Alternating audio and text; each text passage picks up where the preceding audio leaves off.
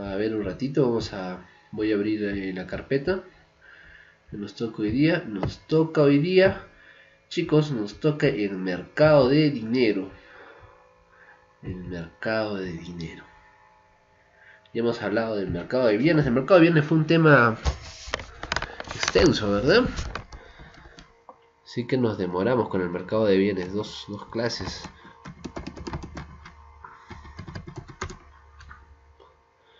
Bueno, algunos están con sus notas medias bajoneadas, están revisando sus trabajos,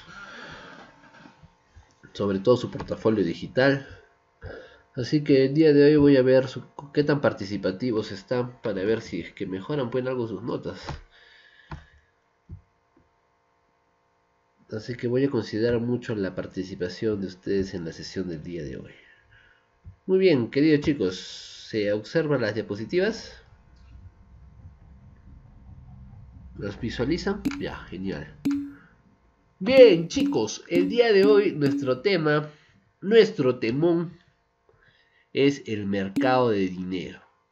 Pero antes de hablar en sí de todo lo que significa el mercado de dinero, que es un montón, tenemos que hablar pues del dinero. ¿no? De ahí, tenemos que arrancar por ahí, por el dinero. Entonces, antes de, de sí de, empezar directamente con, con, el tema, recordemos un poco que lo que hemos estado viendo en la clase pasada fue el mercado de bienes, ¿no? El mercado de bienes y servicios.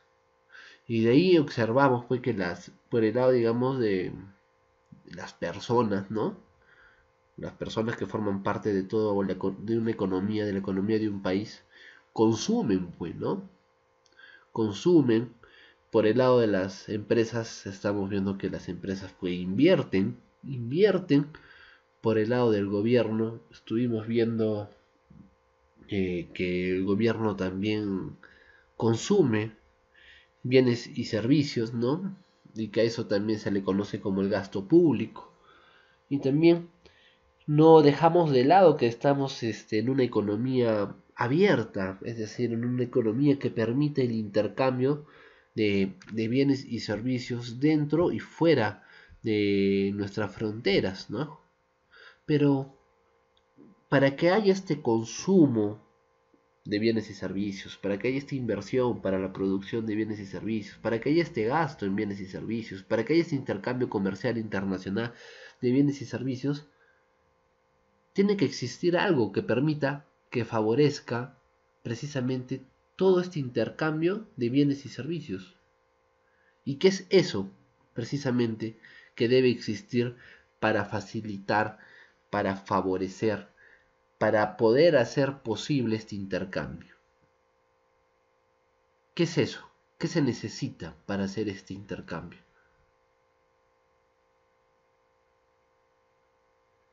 ¿Ah? Lo estoy preguntando.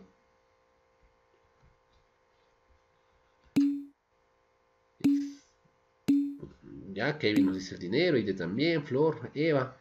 Exacto, exacto, Cristian. Exacto. Dinero, ¿no? Muy bien, Paola, Isabel, Gilbert, Marilena, ¿no? Dinero, dinero. Entonces, ¿por qué te hago este preámbulo? Porque cuando te dije que íbamos a, a hallar o en cierta forma estudiar la demanda agregada, para estudiar a la demanda agregada, teníamos que estudiar, entender a dos mercados. Y el primer mercado es el de bienes y servicios.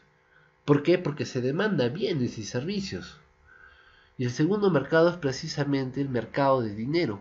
Porque para poder hacer todas esas transferencias, todos esos intercambios, esos intercambios solo se van a poder hacer posible a través de un activo que sea comúnmente aceptado y que posea valor. Y ese activo precisamente es el dinero, el dinero. Y es por eso que tenemos que entender ambos mercados.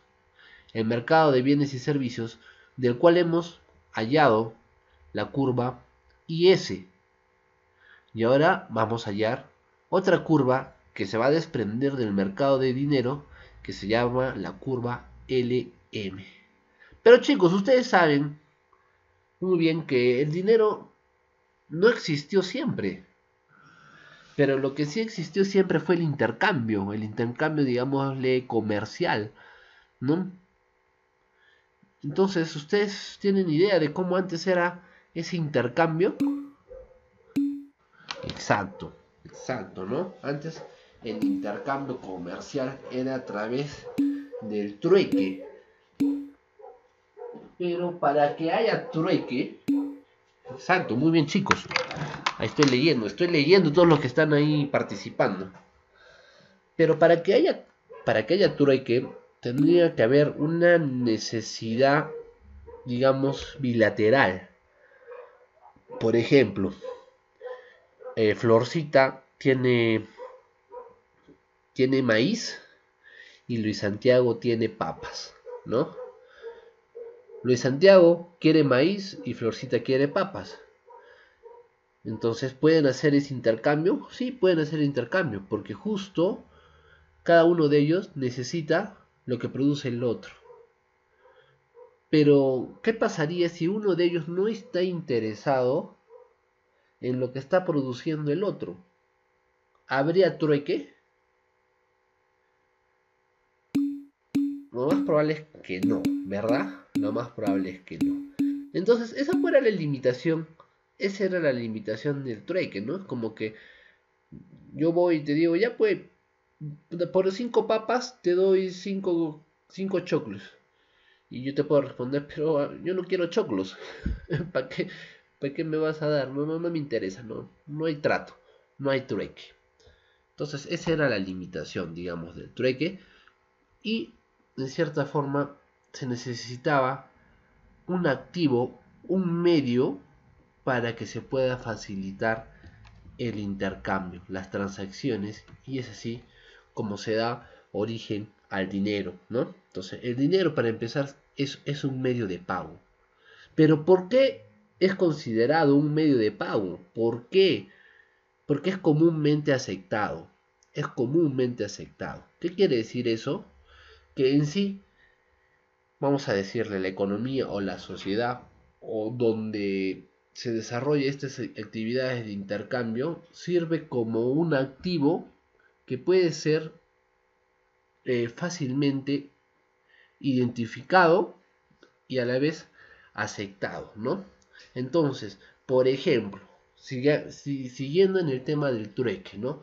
Si en el trueque, por ejemplo, yo iba donde Flor y le decía, este, dame choclos y a cambio de esos choclos te voy a dar papas.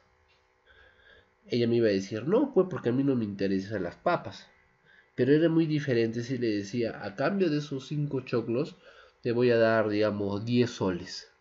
Entonces, ella va a aceptar esos 10 soles, va a aceptar esa, ese dinero, porque con esos 10 soles ella le puede dar otra utilización en otra cosa que no va a ser papas, sino en otra cosa que ella necesite y que va a poder acceder a eso que necesite con esos 10 soles, porque esos 10 soles también van a ser comúnmente aceptados por la otra parte, porque es una de las características del dinero. Entonces, me, está, me estás captando, ¿no? Esta evolución, esta diferencia, hasta ahí estamos bien. Muy bien. Listo. Entonces, analicemos un poquito más cuáles son pues las, las, las funciones en sí del dinero y por qué debemos considerar estas funciones para que realmente un activo se pueda considerar dinero. ¿Ya? Ojo, te estoy diciendo, si un activo cumple estas funciones, estas funciones se pueden considerar dinero, ¿no? La primera función del dinero como te dije, es un medio de, pago, un medio de intercambio, ¿no? Eh, facilita el intercambio precisamente porque es de común aceptación, de común aceptación. Entonces, yo voy a el, el comprador acepta dinero, perdón, el comprador, el que compra, da dinero, ofrece el dinero y el vendedor lo acepta, lo acepta. Uno da dinero a cambio de un producto o servicio y el otro da un producto o servicio a cambio de dinero. Entonces, ¿qué estamos haciendo ahí? Un intercambio. Netamente, claramente es un intercambio. Algo que puede ser un producto o un servicio por dinero y viceversa. Entonces es un medio de pago, un medio de intercambio. El segundo aspecto importante que se considera es el de depósito de, valor, ¿no? Un poco todavía dentro de lo que te está explicando, ¿no? El vendedor está dispuesto a cambiar eh, bienes y servicios por dinero, ¿no? Y el comprador está dispuesto a entregar dinero por bienes y servicios. Exacto, Eva. Compra y venta. Compra y venta.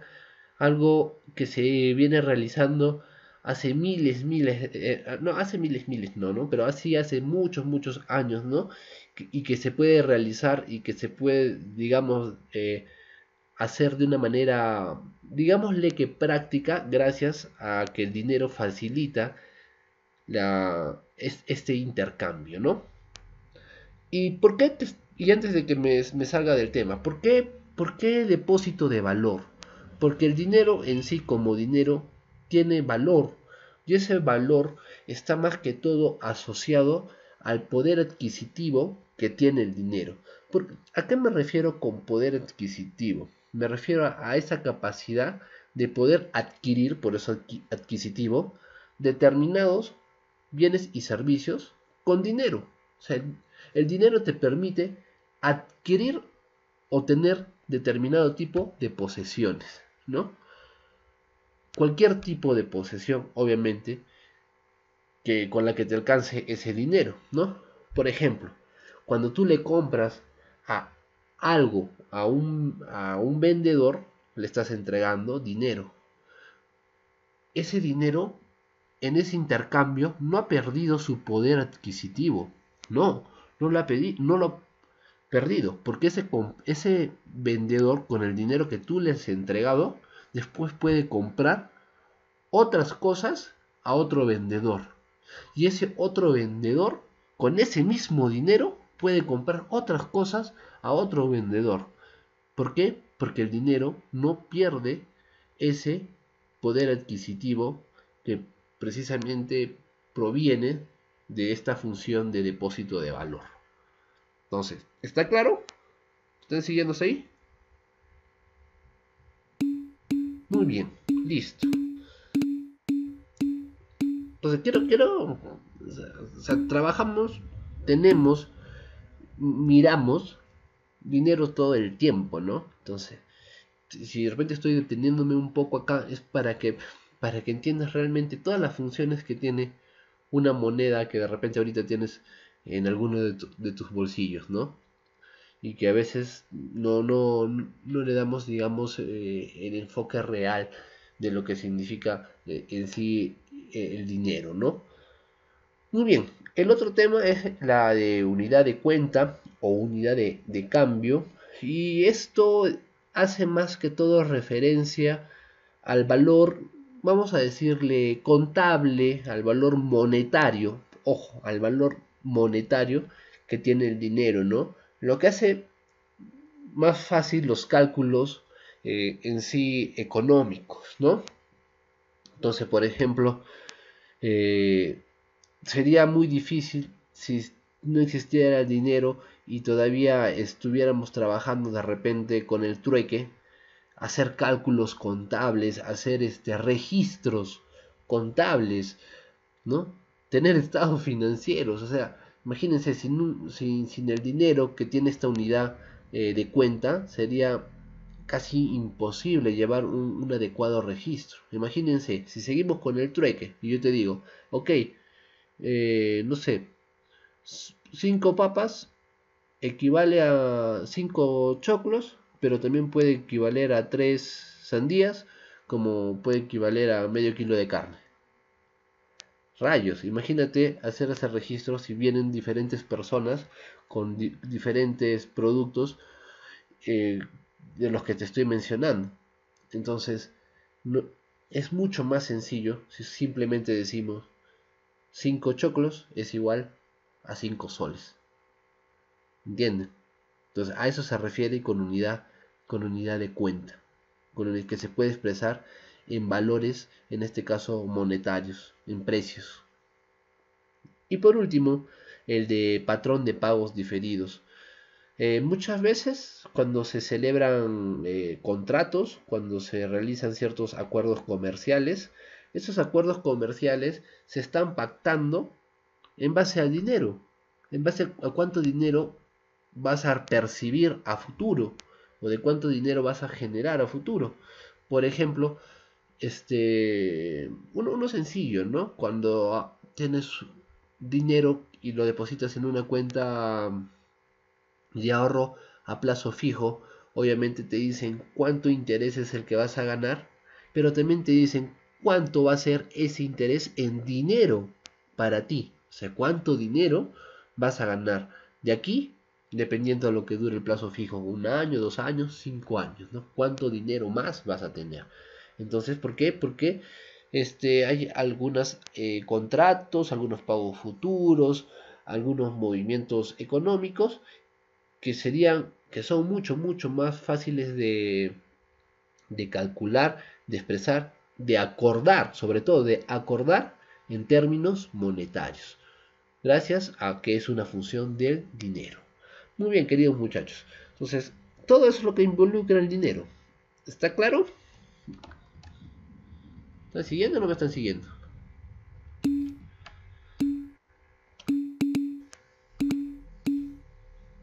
Muy bien. Bien. De aquí hay pues otros temitas, otras variables este, macroeconómicas que pueden influenciar para bien o para mal en el valor del dinero, en el valor del dinero. Es decir, el dinero tiene un valor, ¿no? Cierto valor. Y ese valor también se puede perder. El dinero puede dejar de tener valor, ¿ya? Una de las variables macroeconómicas que influyen en el valor del dinero precisamente es el de inflación, ¿no? El de inflación. A ver, quiero hacerles una explicación súper sencillita de, de cómo podría perder el, el dinero valor por inflación. A ver. A ver, vamos a compartir. Lo voy a, lo iba a hacer con dibujitos, pero cada vez que dibujo creo que nos demoramos más. Ahí está. Además es algo sencillo lo que les quiero mostrar. Ahí está. ¿Están chequeando el, el Excel?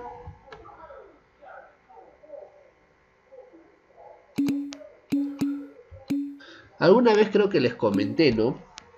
No sé si les he comentado. Sí, creo que sí les he comentado. Les comento tantas cosas. Pero para que...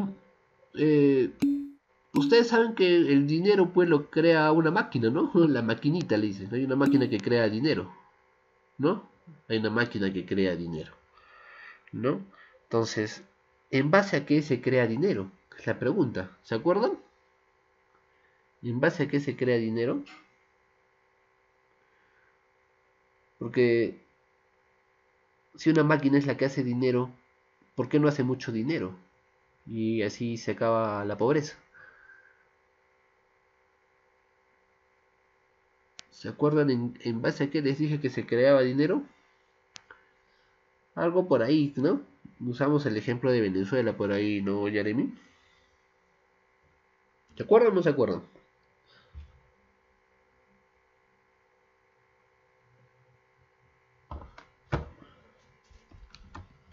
Me están haciendo ¿eh?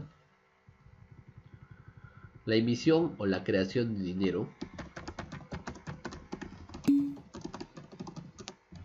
¿ya? Está en función a la producción del país. A la producción. El dinero tiene que tener un respaldo. Y ese respaldo precisamente es el PBI. ¿Ya? Ese es el respaldo. Cuando hay un desequilibrio entre el PBI y la cantidad de dinero, se va a producir inflación. Lo que se va a producir es inflación. ¿Y qué provoca la inflación? Que los precios aumenten y que el dinero pierda valor. Imaginemos que la, toda la producción de un país son tres manzanas. ¿Ya? Todo el PBI de un país son tres manzanas. Y entonces el Banco Central, por esas tres manzanas, creó, emitió tres soles. ¿Ya? Hasta ahí. Fácil. Digamos que en el 2020. ¿Cuál es el precio de cada manzana? Así es, dice en la producción. Un sol. Hasta ahí, un sol, ¿no? Y se puede decir que estamos en equilibrio, ¿no? Porque estos tres soles están respaldados en esas tres manzanas. En 2021 hubo diversos problemas políticos, económicos, de todo tipo, que impactaron en la producción. Ojo, que impactaron en la producción, como la pandemia, por ejemplo, ¿no? Y la producción disminuyó a dos, a dos manzanas, pero se siguió emitiendo tres soles. Se siguió emitiendo tres soles. ¿Cuánto sería el precio ahora de una manzana?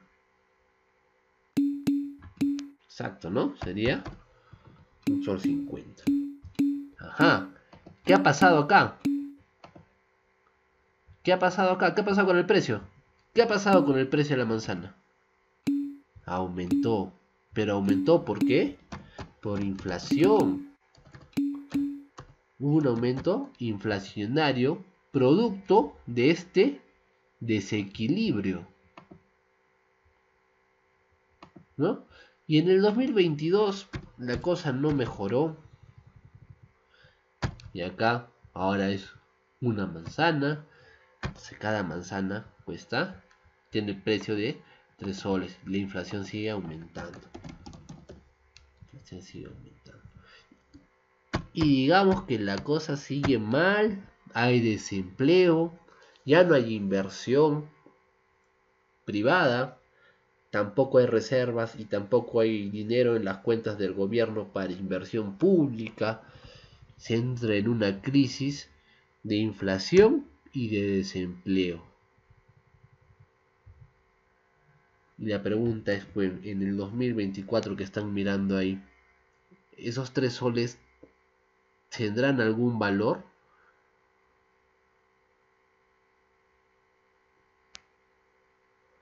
¿Vale ese dinero? Ya no vale, pues. Ya no vale, ya no vale porque no tiene ese respaldo. Y por eso es que eh, hay países como por ejemplo Venezuela, pues que tienen su moneda súper, súper, súper inflada. Que te habla de, no sé, de millones de bolívares, que es para comprar que un lapicero. ¿No? Un ejemplo, ¿no? No, no, no, no sé exactamente cuánto está el, eh, eh, tema ahorita de inflación, pero es como que te digo, ¿cuánto te cuesta comprar un lapicero aquí, en nuestro país? Sí, toque ustedes. ¿Cuánto?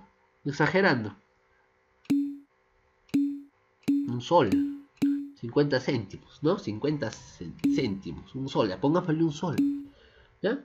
Pero en otros países la, moneda está ha perdido tanto valor, está tan inflada que ese lapicero, si lo expresamos digamos en términos de, de bolívares, el mismo lapicero que a ti te cuesta 50 céntimos, allá les puede estar costando, no sé, 500 mil bolívares. ¿Por qué? Porque ¿qué ha pasado allá? ¿Qué es, ¿Qué es lo que se ha caído? ¿Qué es lo que se ha caído? La producción. La producción. No tienen con qué respaldar esta emisión.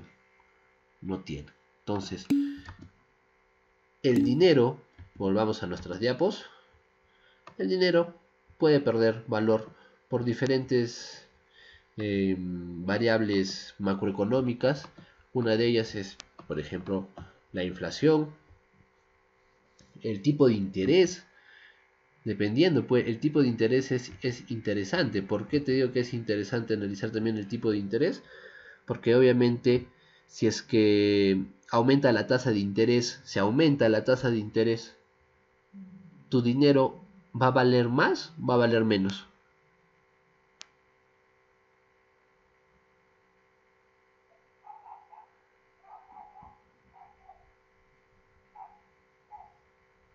¿Mm? Se aumentan las tasas de interés.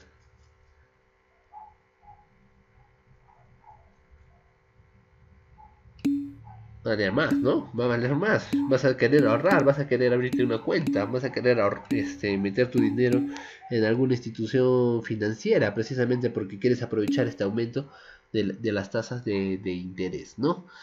Eh, y muy bien. Entonces también incluso este, las reservas internacionales, las reservas nacionales tienen mucho que ver eh, este, la, en la posición de tu moneda respecto a, monedas de, de, otro, de otros países, ¿no? Pero eso ya está más que todo influenciado por el, intercambio comercial que se pueda dar. Pero bueno, ¿a qué voy? A que el dinero tiene pues valor y ese valor principalmente está respaldado, principalmente está respaldado eh, en la producción, en la producción, ¿vale? Entonces, ¿está clarísimo lo que les he explicado? ¿Sí o no?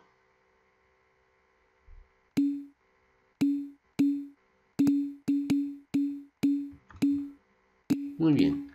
De acá viene otra, viene otra pregunta, precisamente un poco más relacionada al, al tema de, del valor de dinero en el tiempo, ¿no? Y obviamente tiene cierta relación con las tasas de, de interés. Entonces, vamos, acá te hacen una pregunta, ¿no? Y la pregunta que te hacen es acá, hoy, acá, mañana. Y no te olvides de esto. Acá tengo un sol. Y acá tengo un sol también. ¿Ya? Hoy y mañana. Estamos ahí. Me están, me están siguiendo, ¿no? Bien. La pregunta es, pues, ¿qué vale más? ¿Qué vale más? ¿Un sol de hoy o un sol de mañana?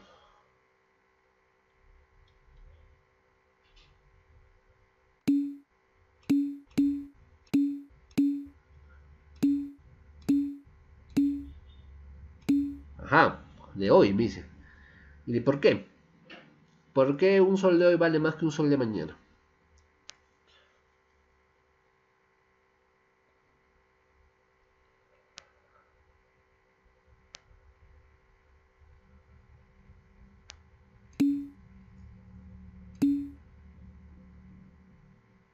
Mm, ya, más o menos, más o menos. Eh, ya Isabel va por ahí, lo están, lo están explicando este, más o menos, ¿ya? Ya, Yesenia también va por ahí, ya. Muy bien, muy bien. Interesantes sus, comentarios, de verdad. Y la respuesta sí, está muy cerca la respuesta. Es porque el dinero tiene valor a través del tiempo. El dinero tiene valor a través del tiempo. A través del tiempo. ¿Qué quiere decir eso? Imaginemos pues que sea 50%. Es un ejemplo exagerado, ¿ya? Que sea 50% lo que gana. Entonces, este sol hoy, este sol, este sol hoy, mañana va a ser un sol 50. Este sol de hoy, mañana va a ser un sol 50. Pero este sol de mañana, o sea, hoy, si quieres no era Punzol. ¿Cuánto era? Entonces, si hablamos de hoy, en términos de hoy, ¿qué vale más? Un sol de hoy, ¿no? Por el valor que tiene el dinero en el tiempo. ¿Está claro? ¿Está clara esa explicación? Muy bien. Esto, esto tiene, tiene mucha relación también al, al tema de eh, el, tiempo es oro, ¿no? El tiempo es oro, porque en realidad eh, también lo podemos asociar a esto del valor del, del, dinero a través del tiempo, ¿no? A través del tiempo. Muy bien. Entonces sigamos, pues sigamos avanzando. Ahí estoy leyendo sus comentarios. La ecuación del dinero, ¿ya? La ecuación del dinero lo vamos a tocar de manera súper rápida, es muy sencilla, ¿ya? Esta es la ecuación del dinero. La masa monetaria, si quieres decirle la cantidad de dinero, por su velocidad, es decir, por su velocidad de circulación, o sea, la cantidad del dinero y la velocidad en la que está circulando en una economía es igual a los precios, ¿ya? Por la cantidad eh, de, productos, de los precios de bienes y servicios por la cantidad de bienes y servicios. Y, y tiene sentido, ¿no? Tiene mucho sentido, porque tiene que haber una paridad, tiene que haber una igualdad entre todo lo que se está produciendo, comprando y vendiendo y precisamente todo el dinero que está circulando para ese intercambio. ¿Ya? Esa, sería la, explicación, digamos, más sencilla de cómo interpretar eh, la ecuación del, del dinero. Y ninguno de ustedes me dice que no se está mirando la, la diapositiva. Estoy explicando y ninguno me dice que no se mire la diapositiva.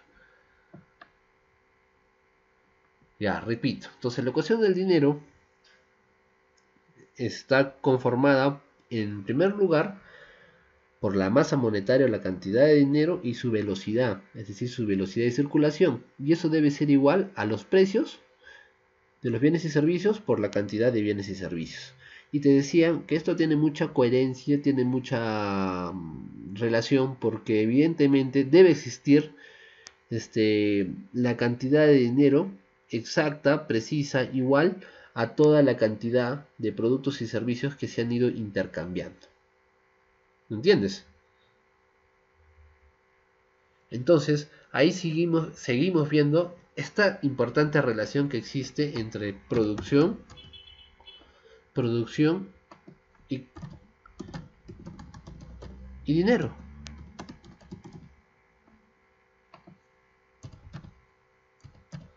Producción y dinero. ¿Está claro?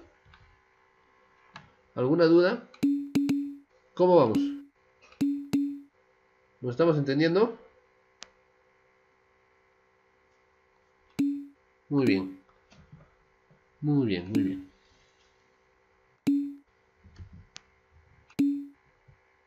Ahora que hemos hablado del dinero, que ya tenemos bien claro todo lo que implica en sí el dinero, que ya tenemos claro que el dinero tiene valor, que ya tenemos claro la importancia para medio de, cambio, de intercambio, ¿no?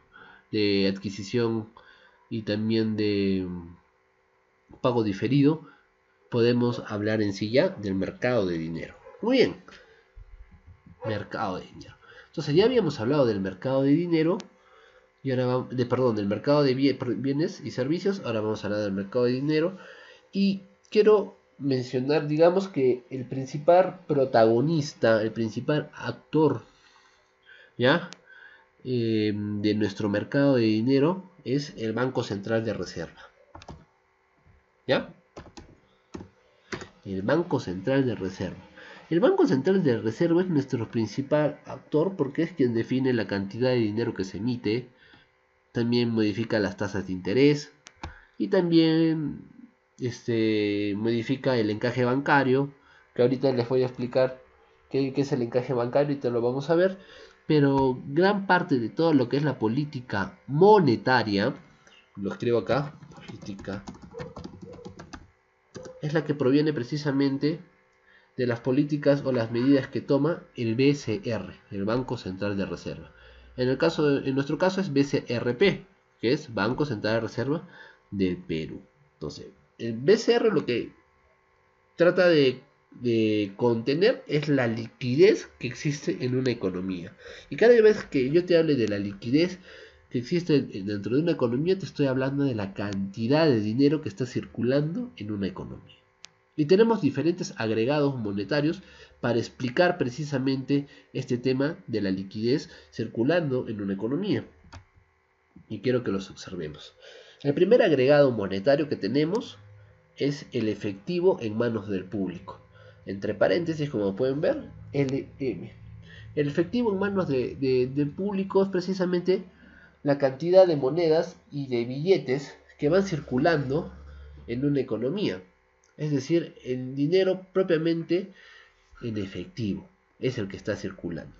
El segundo agregado monetario que tenemos es el M1. Claro, claro que sí, dinero legal. Pero ya, ah, vamos a ver si nos da un poco de, tiempo, porque eh, supongo que tú estás haciendo temas por un tema de, de, lavado de activos, ¿no? Y, que, dinero que proviene de, fuentes este, ilegales, ¿no? No, no, no. Entonces, acá estamos hablando de, dinero legal. Estamos hablando de dinero legal. Muy bien. Entonces, el primer agregado monetario es el, el efectivo en manos del público, considerado por las monedas y billetes en circulación. Obviamente, monedas y billetes en circulación eh, verdaderos, ¿no? Porque también puede haber billetes y monedas en circulación que, sean falsas, ¿no? Pero no, obviamente no vamos a considerar ese tipo de, monedas, ¿no? El segundo agregado monetario es el famoso M1, y digo famoso M1 porque este agregado monetario, el M1, el M1, también se conoce como oferta monetaria, ¿ya?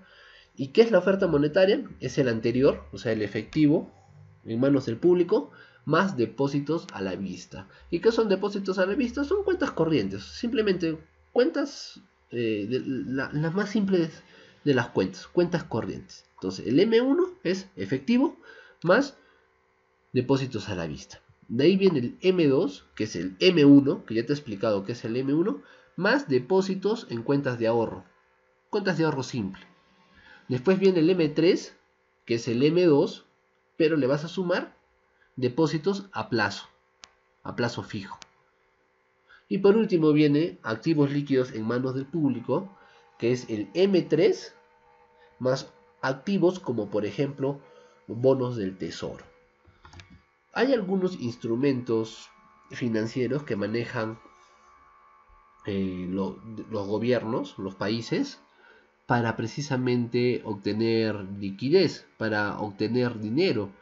O, ¿ya? Entonces, por ejemplo, el, gobierno, una de las formas que tiene para recaudar dinero es, como ustedes ya saben, a través de los, de los impuestos, a través de tributos. Pero también tiene otros métodos para obtener dinero. Y, por ejemplo, lo hace a través de bonos, bonos del tesoro, se llaman los de, nuestro país, del tesoro, bonos del tesoro, ¿ya? bonos soberanos, creo que es el de nosotros, bonos soberanos. ¿Ya? Bonos de tesoro son de Estados Unidos. Entonces, ¿cómo funciona esto? Digamos, eh, el gobierno necesita... Vamos, vamos a ver.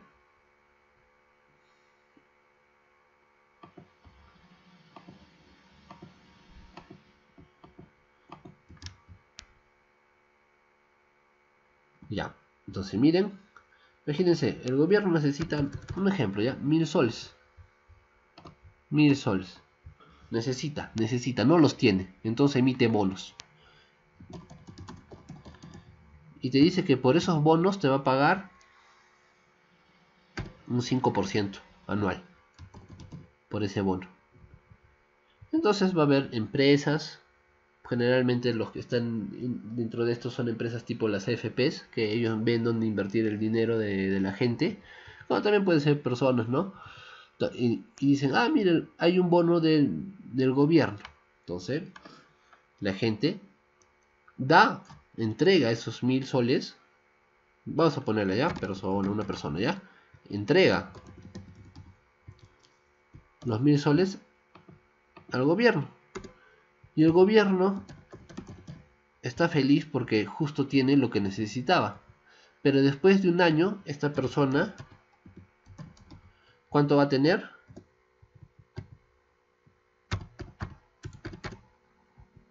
cincuenta, ¿no? Porque se le el bono le pagaba 5% anual. Entonces, esos son otros instrumentos financieros con los que cuentan los gobiernos para recaudar dinero, ya sea para recaudar o ya sea para quitarle liquidez, para quitarle liquidez a la economía. ¿Por qué quitarle liquidez? Porque cuando emites bono, ¿qué estás haciendo? Estás quitando esos mil soles de circulación para ti a cambio de un documento como el bono, un título valor como el bono, que le va a pagar 5% después de un año. Entonces, recapitulamos, y está fácil, ¿no? Lo más líquido es el efectivo, después viene el M1, que es efectivo más depósitos a la vista, después viene el M2, que es el M1 más depósitos en ahorros, después viene el M3 que es el M2 más depósitos pero a plazo fijo y después viene los activos líquidos en manos del público que es el M3 más estos otros activos que te estoy mencionando tipo los bonos soberanos. ¿Estamos claros ahí con los agregados? Ya, pero para mí es importante para que nos entendamos en el curso, por lo menos en este tema, es que no nos olvidemos del M1. El M1 también es conocido como la oferta monetaria, ¿no? ¿Y qué, ¿Y qué formaba el M1? A ver si se acuerdan. ¿De qué estaba conformado el M1?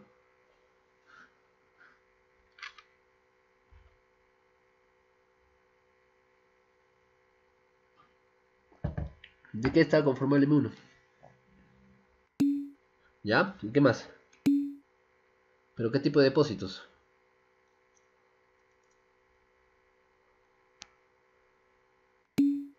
Depósitos en cuenta corriente o depósitos a la vista. No te olvides. Dos nomás me dicen eso. Dos. Tengo como 38 ahí conectados y dos nomás me dicen que es M1. Entonces M1, no te olvides. Depósitos a la vista. Más efectivo. ¿No?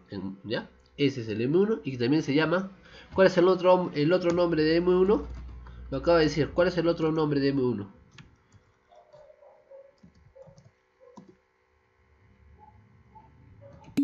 Muy bien.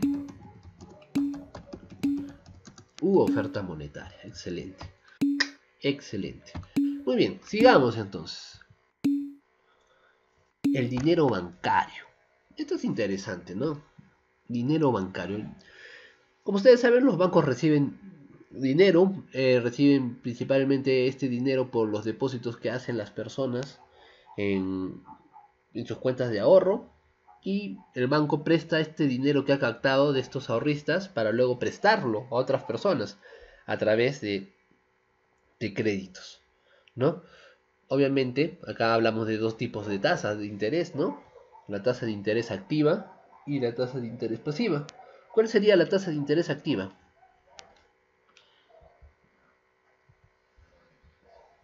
¿Cuál sería la tasa de interés activa?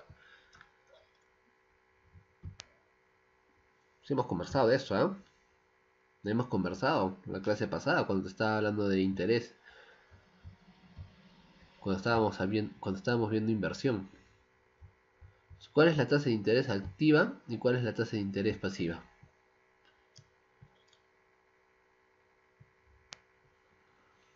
¿Ah?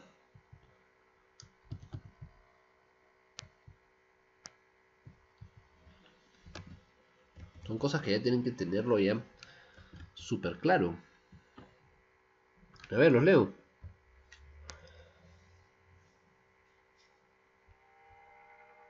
Ninguno. ¿Cuál es la activa?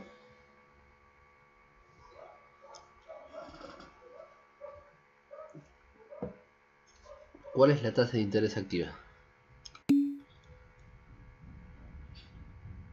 Muy bien, la activa es la tasa que prestan, la tasa con la que prestan. Entonces la pasiva, ¿cuál sería?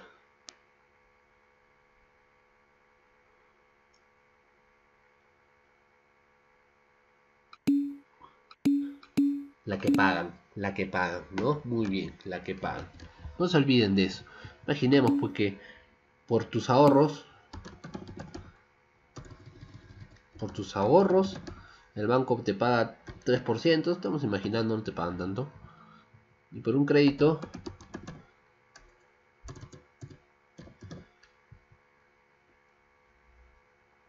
cobran el 8%. ¿Con cuánto se queda el banco? El banco se queda pues con 5%.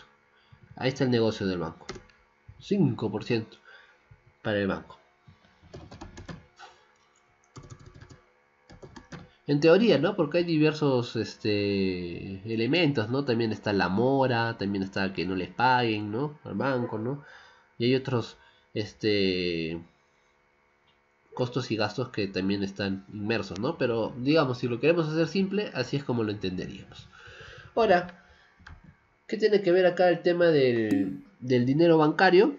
Es que al banco produce un efecto multiplicador en el dinero, en el dinero. ¿Cómo así? Imaginemos que una persona deposita deposita ya mil soles en el banco. Estamos imaginando. Ya que deposita mil soles en el banco. El banco ahorita el banco tiene mil soles. Ojo pero no puede prestar los mil soles. Porque siempre se tiene que quedar con una con un porcentaje que se conoce como encaje bancario. ¿ya? Es por seguridad.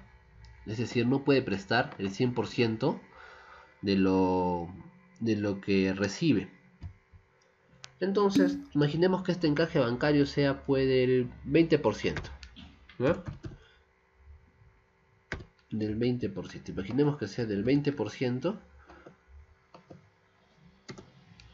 Este encaje se realiza a cada, a cada ingreso, a cada ingreso. Entonces, ¿cuánto puede prestar? ¿Cuánto puede prestar? La diferencia. La diferencia, porque se tiene que quedar con esto de encaje. Ahí estamos bien.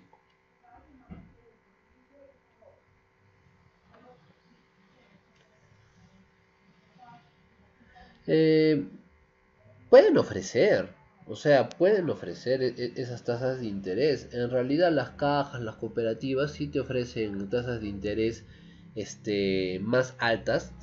si quieres saber la explicación por qué te ofrecen tasas de interés más altas por ahorros, es porque también cobran tasas de interés más altas en sus, en sus préstamos. ¿Ya? Ese, es el tema. ¿Ya? Si, si es que queremos tener... Eh, un poquito la explicación por, por allí. ¿Ya? Muy bien. Entonces, eh, ¿en qué estaba? Ya, estaba en que puede prestar hasta, hasta 800. Entonces, viene otra persona. Viene otra personita, pues.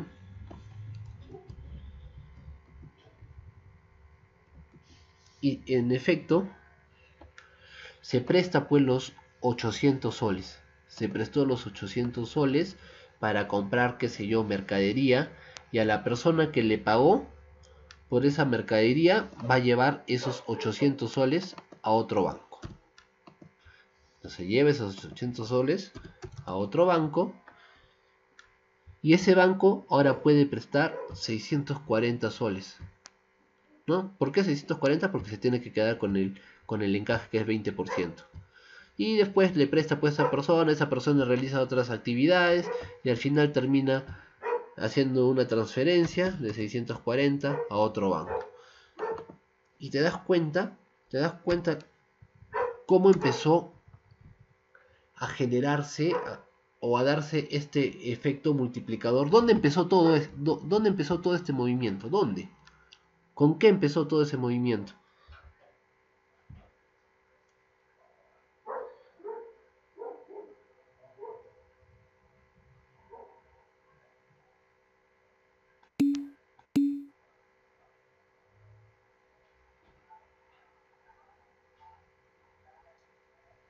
Con el depósito, con el primer depósito, ¿no?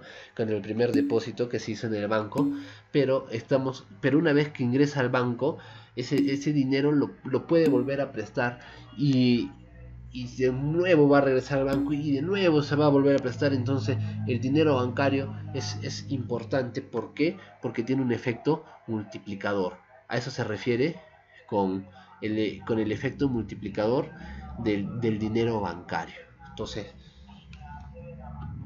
volvamos a las diapositivas. Acá sí extraño la pizarra porque hay varias cositas que explico con, con la pizarra y acá es un poco incómodo el hecho de estar cambiando a cada rato la diapositiva Excel, Excel diapositiva, ¿no? Un poquito incómodo, pero ahí vamos, ¿ya? Entonces, ¿cómo se calcula el multiplicador del dinero? El multiplicador del dinero se multiplica 1 sobre el encaje bancario. Esa, es la, la ecuación del multiplicador del dinero. 1 sobre el encaje bancario. ¿Qué quiere decir eso? Quiere decir eso que las veces que ese dinero se puede multiplicar, la vamos a poder hallar 1 sobre el encaje bancario.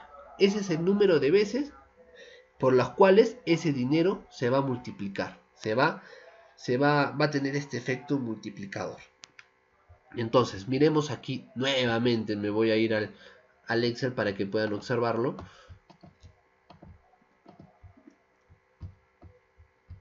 Entonces, ¿Cuánto era mi encaje bancario? ¿Cuánto era? A ver. ¿Cuánto era mi encaje bancario? Han estado atentos. Muy bien, muy bien chicas, muy bien. 20%, Florcita, muy bien. Encaje bancario era del 20%. ¿Cómo hay el multiplicador? ¿Cuánto sería el multiplicador? ¿El multiplicador cuánto sería? Muy bien chicos, 20%. ¿Cómo sería el multiplicador? ¿O cómo lo hallo?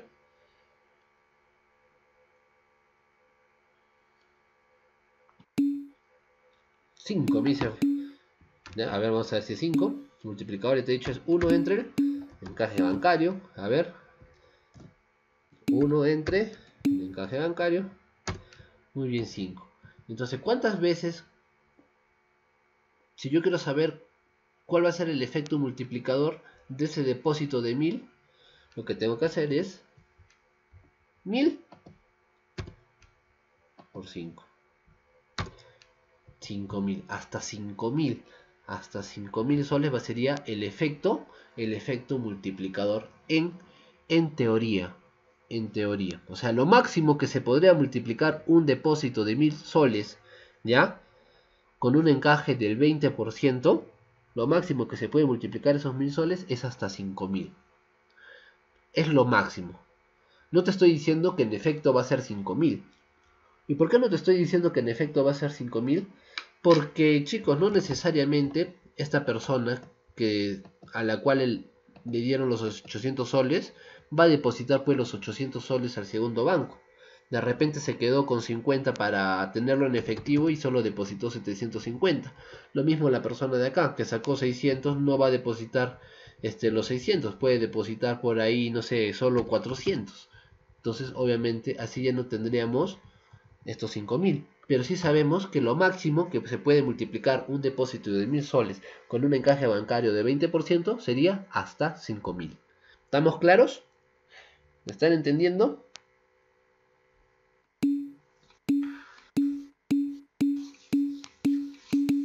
Espero que sea verdad, todo muy sencilla, me preocupa. ¿De verdad, ¿De me estará entendiendo o muy sencilla por, por decir? Espero que no sea eso, ¿ah? Espero que no sea eso. Muy bien, entonces miremos, como les había comentado, el principal actor el protagonista acá de nuestro mercado de dinero es el BCR. Entonces es importante saber cuáles son las principales funciones, cuál es el objetivo del BCR. ¿no? El, el, primer objetivo que tiene el BCR es mantener la estabilidad de precios. Y cuando te digo mantener la estabilidad de precios, lo que te pretendo decir es que no haya que. Que no haya que. Justo hemos hablado de eso un poquito. Ahorita, en esta clase. Que no haya que. Si te digo que el BCR quiere mantener la estabilidad de precios.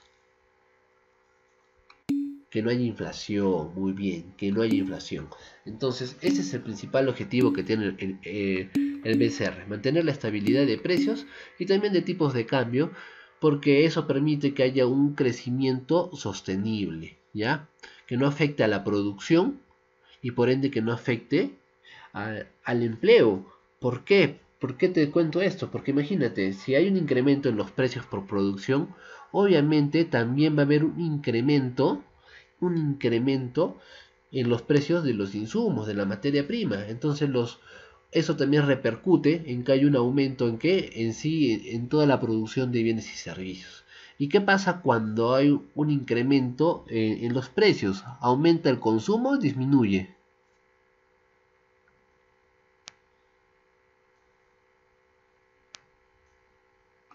Disminuye, obviamente. Si disminuye, si hay una disminución en el consumo, no habría necesidad de que haya una mayor producción, ¿no? ¿Para qué vas a producir si estás viendo que el consumo está disminuyendo? ¿Para qué te estoquearías, ¿no? Entonces, eso obliga a qué?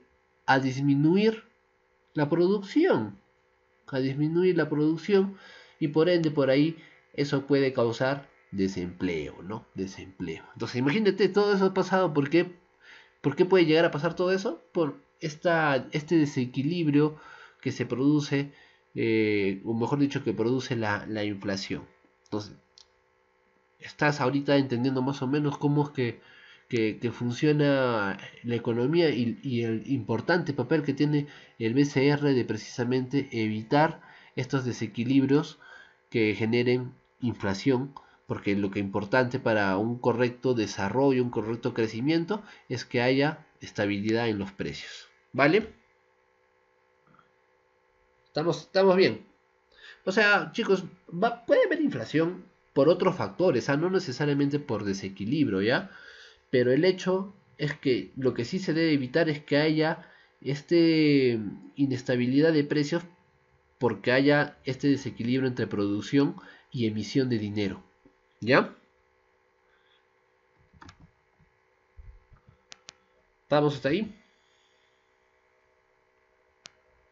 ¿Estamos o no estamos? Bien, otras de las funciones principales del Banco Central de Reserva es la emisión y circulación de dinero, de dinero legal, de la moneda legal, ¿ya? Eh, cobros y pagos en todo lo que se refiere a la administración pública, Supervisa también el sistema bancario, las reservas de los bancos, gestiona las reservas de divisas. Cuando te hablo de divisas te estoy hablando de moneda extranjera, ¿ya? Otro tipo de moneda. Y ojo, determina la política monetaria. Y la política monetaria está principalmente determinada por la cantidad de dinero que se emite, por las tasas de interés, ¿ya? Y también por el encaje bancario. Entonces cuando el eh, BCR adopta determinadas políticas expansivas, o que contraen eh, el dinero es por tasas de interés, es por emisión o es por encaje bancario. ¿Ya? Entonces, ¿quién se encarga del dinero? El BCR. El BCR. Y el BCR es una institución autónoma. ¿Sí? Autónoma, o sea, es independiente del gobierno, es independiente del Congreso, es una institución que tiene su autonomía propia, propia. ¿ya? Precisamente para que no haya este, conflictos este, de intereses, sino que de verdad se vele por mantener la estabilidad de precios. Hasta ahí, ¿cómo vamos? ¿Cómo vamos? ¿Estamos todo claro? ¿Estamos todo claros? Porque todavía no, no, quiero que se me pierdan, quiero que sigamos enganchados. ¿Estamos enganchados todavía? Ya. Es importante que estemos enganchados y quiero que presten este, mucha atención a lo que voy a explicar ahora en cuanto a los activos y pasivos del Banco Central de Reserva, ¿ya? Ojo, quiero que entiendas esto. Cuando te hablo del Banco Central de Reserva, te estoy hablando del banco de todo el país. De todo, el principal banco de todo el país. Ese es el Banco Central de Reserva, ¿no? ¿Cuáles son los activos que, que tiene el Banco Central de Reserva? Sus activos principales son oro y divisas, sus reservas en oro, ¿ya? Porque se tiene oro como, como un activo, aparte de, dinero, y las divisas que están conformadas más que todo por, eh, ya te he dicho, moneda, moneda extranjera, moneda foránea, que tiene, que, eh, moneda fuerte en realidad, ¿no? Como el dólar, por ejemplo. Después por los créditos que da bancos comerciales, como también por créditos que da al sector público y también por otros instrumentos o por unas carteras de títulos de renta fija, por ejemplo, como los que te había mencionado, como los bonos, como los bonos soberanos, ¿ya? Y obviamente todo lo que tenga en inmovilizado, como edificios, este, eh, oficinas, ¿no? sistemas informáticos. Entonces, acuérdate, vuelvo a repetir, ¿qué tenemos como activos? Oro y divisas, créditos tanto al sector público como privado y estos instrumentos financieros como los bonos que te he mencionado que precisamente sirven para muchas veces contra la liquidez del dinero en, la economía, ¿no? ¿Por qué? Porque ya te dije, ¿no? Cuando emites bonos, ¿qué está, qué está haciendo el, el gobierno? Está quitándole dinero a la economía y a cambio está dando bonos. ¿no? Está dando bonos. Eso hace cuando emite bonos. ¿Ya? Muy bien. Por otro lado, los pasivos. Los pasivos están conformados, en primer lugar tenemos el pasivo monetario y el pasivo no monetario. Y el pasivo monetario se llama también base monetaria.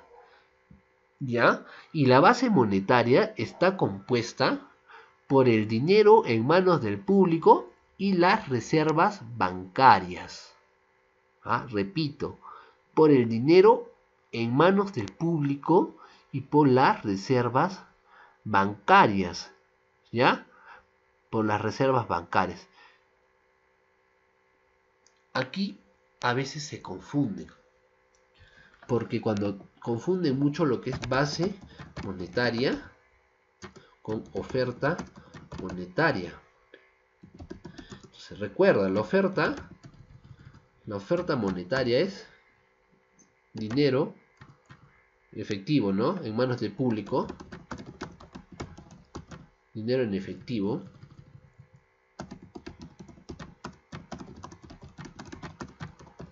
Más depósitos a la vista. Pero la base monetaria, la base monetaria, o también pasivo monetario, es dinero en efectivo en manos del público, pero más reservas, reservas bancarias.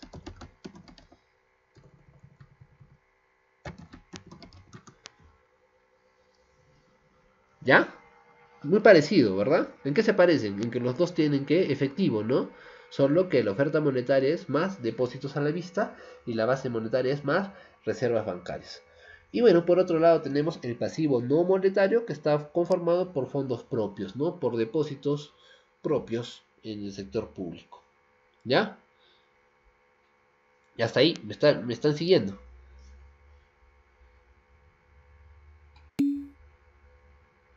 Muy bien. Muy bien. Entonces, es importante tener clara esta división entre los activos y los pasivos del, Banco Central para poder explicar respecto a la base monetaria o al pasivo monetario, ¿no? La base monetaria, lo que muchas veces, el, mejor dicho, el aumento, grábate esto, el aumento en la base monetaria permite la creación del dinero. Y todo lo contrario, la reducción de la base monetaria significaría la destrucción del dinero. Repito, ¿ah? el aumento en la base monetaria es creación de dinero. La disminución o la reducción de la base monetaria es destrucción del dinero. ¿Cómo se puede aumentar la base monetaria? Y ojo, se aumentan las reservas que, que forman parte del activo, ¿ya?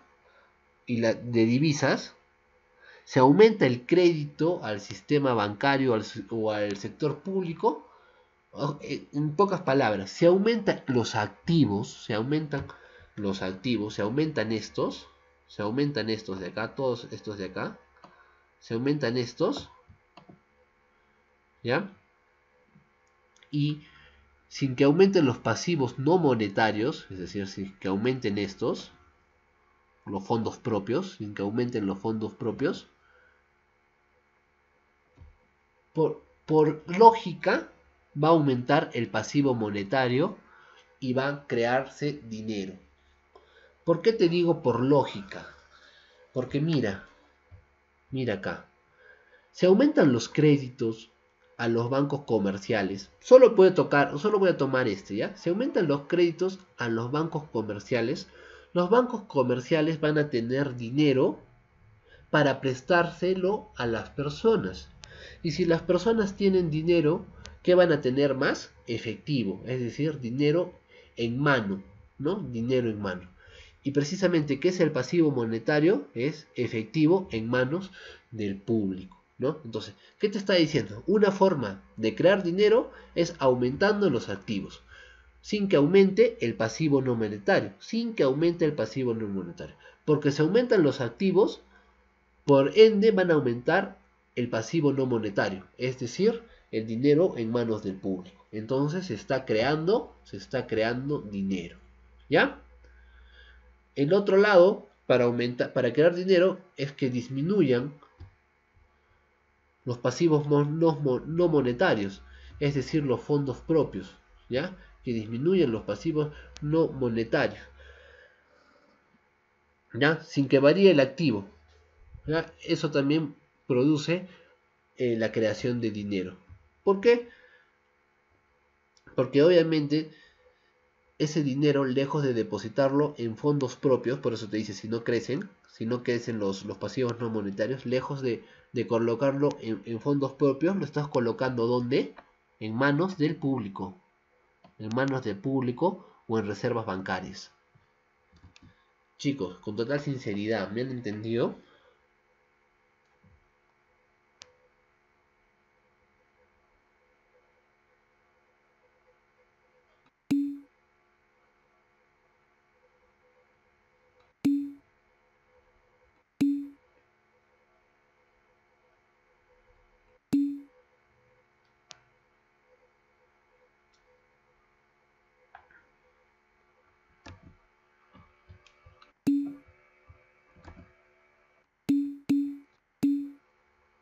Es importante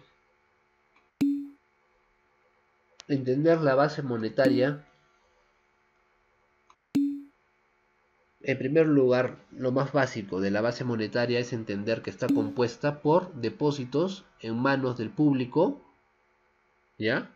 En depósitos y reservas bancarias. A ver, vamos a hacerlo acá.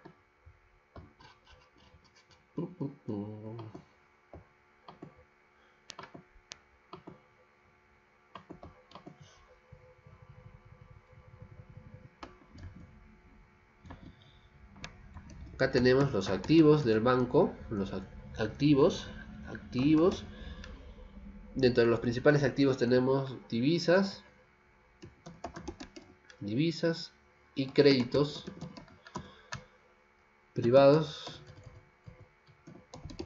y públicos no tiene más no pero me voy a, solo voy a poner eso ya y en pasivo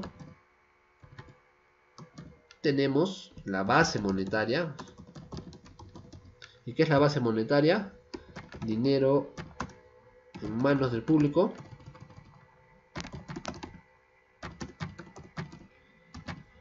Y también reservas bancarias.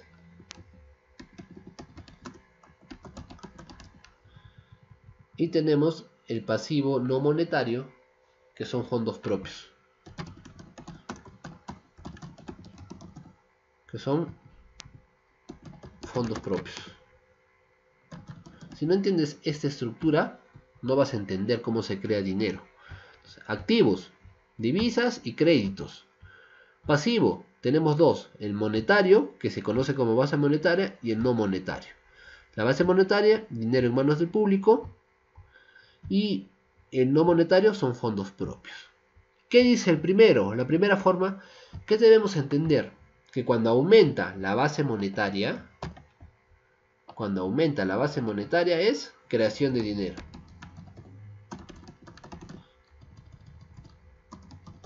Y cuando disminuye es destrucción de dinero. ¿Cómo aumentar la base monetaria? ¿Cómo aumenta la base monetaria? Cuando aumenta, por ejemplo, los créditos, los créditos, si están aumentando los créditos, ¿qué significa? que el dinero le está dando, que el gobierno, que, el banco, el BCR, el BCR está dando dinero a los bancos. Le está prestando dinero a los bancos. ¿Qué crees que va a hacer los bancos con ese dinero? ¿Qué van a hacer con ese dinero los bancos?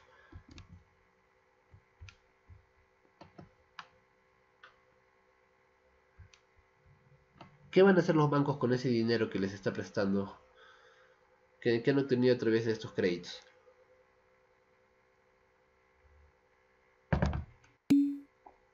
Activos, ¿qué tendrían los activos acá? Estoy preguntando, ¿qué van a hacer los bancos que han recibido este dinero de créditos privados y públicos? ¿Qué van a hacer con este dinero que han recibido?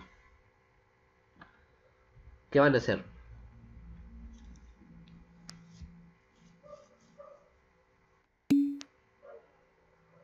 ¿Qué van a hacer, pues? ¿Qué van a hacer? En otra palabra, otra palabra más sencilla. ¿Qué van a hacer? Lo van a prestar. Muy bien, Aire. Lo van a prestar. ¿Y a quién le, van a prestar ese dinero? ¿A quién le van a prestar ese dinero? Al público. Al público. Entonces, ¿qué va a aumentar? ¿Qué va a aumentar? ¿Qué ha aumentado? que ha aumentado la base monetaria. Por eso dice, cuando incrementan los activos, ojo, cuando incrementan los activos sin que, incremente, sin que incremente el pasivo no monetario, el de acá, sin que incremente este, va a aumentar la base monetaria. Entonces va a darse creación de dinero. Creación de dinero. Ese es ¿Está claro ahora sí? Cuando incrementan los activos, sin que incremente el pasivo no monetario, incrementa la base monetaria. El otro tema está en que disminuye. ¿Cómo también, cómo también se crea dinero? Cuando disminuye, disminuye el pasivo no monetario. ¿Y qué es por el pasivo no monetario? son fondos propios, ¿ya? Cuando disminuye el pasivo no monetario, sin que varíen estas, ¿ya? Sin que varíen los activos. Cuando disminuye el pasivo no monetario, sin que varíe los activos. ¿Qué quiere decir eso? Que en vez de depositar el dinero, ojo, en fondos propios, que en vez de depositar el dinero en fondos propios, ¿dónde lo está colocando? En reservas bancarias o en manos del público. ¿Está claro?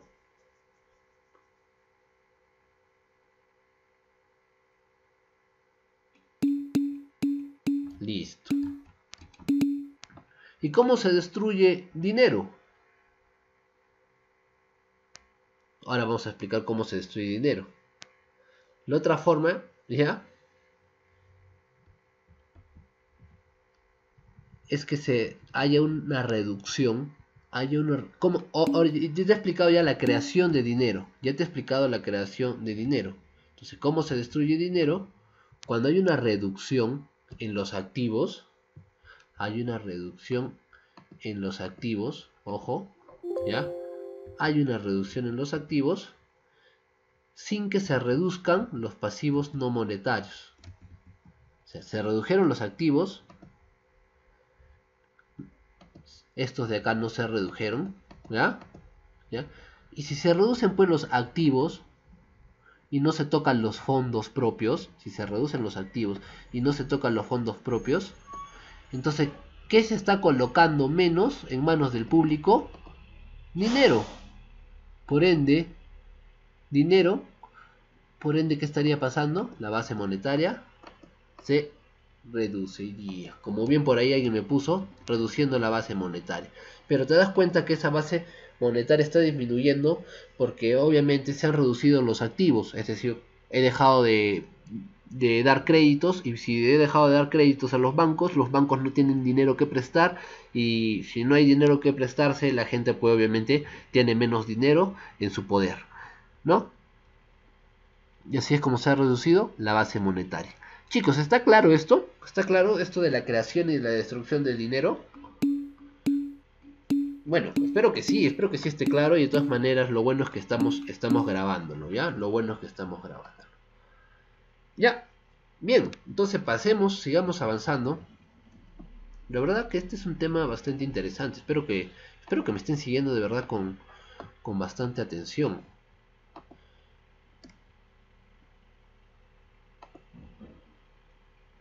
Muy bien. Ahora, variables autónomas y controladas de la base monetaria. Ojo, de la base monetaria. Hay variables que se pueden controlar, por eso se llaman variables controladas. Y hay variables que el, BCR no puede controlar. Esas se llaman variables autónomas. ¿Qué variable no puede controlar el BCR? Las variables que no pueden controlar, por ejemplo, son aquellas que afectan el nivel de reservas de divisas. ¿Por qué? Porque el nivel de reservas de divisas principalmente proviene de la balanza de pagos. ¿Ya? ¿Y qué es la balanza de pagos? La balanza de pagos eh, es el reflejo de todo el intercambio comercial que existe por parte de nuestro país y por parte de, eh, de con, con, el resto del mundo. ¿Ya? Entonces, a ver, por lógica, por lógica, nuestras divisas, nuestra reserva de divisas, si exportamos más de lo que importamos, ¿estaría en superávit o en déficit?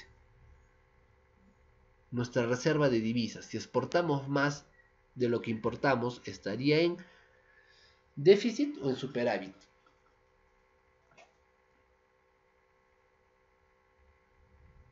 Considera divisas como reserva de moneda extranjera.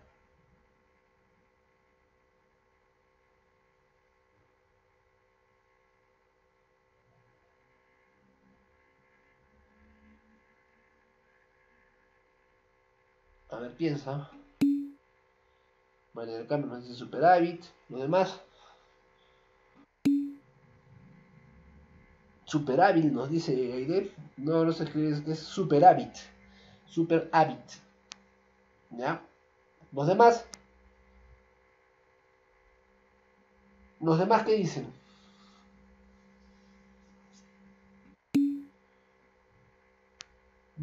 La respuesta sí es pues, un superávit, ¿no? Porque cuando exportas, ¿en qué te pagan? ¿En qué te pagan cuando exportas? Imaginemos que, exportamos a Estados Unidos. Si exporto a Estados Unidos, ¿en qué me van a pagar? En dólares, ¿no? Y si exporto más de lo que importo, entonces, ¿qué está, qué está incrementándose? Mis dólares, ¿no? Caso contrario sería si importo más, ¿no? Tendría menos dólares porque estoy importando más, estoy comprando más. Entonces, este déficit o superávit no puede ser controlado pues, por, el, por el BCR, porque ese resultado se da más por el intercambio libre que se produce entre el país y el resto del mundo. En lo que se puede influir el, el BCR es, por ejemplo, en los créditos concedidos al sistema bancario, porque obviamente sí puede controlar el dinero que presta, porque forma parte de su activo, como han visto, y también en lo que puede influir es en el encaje bancario, en el encaje bancario, ¿ya? Pero no en, eh, en lo que proviene, por ejemplo, del déficit o superávit de la balanza de pagos, ¿ya? ¿En qué también puede influir? ¿Qué también puede modificar? puede modificar las tasas de interés, ¿ya? Si suben las tasas de interés, hacen los créditos más caros. Si suben las tasas de interés, la gente va a querer ahorrar dinero. Entonces, si la gente, si sube las tasas de interés, ¿está aumentando la, base monetaria o la está disminuyendo? A ver, piensa un poco. Si sube las tasas de interés, ¿está aumentando la base monetaria o la está disminuyendo?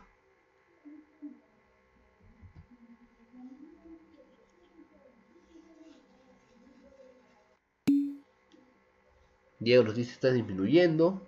Los demás. Leonel aumentando, Kevin disminuyendo, Audea aumentando. Los demás.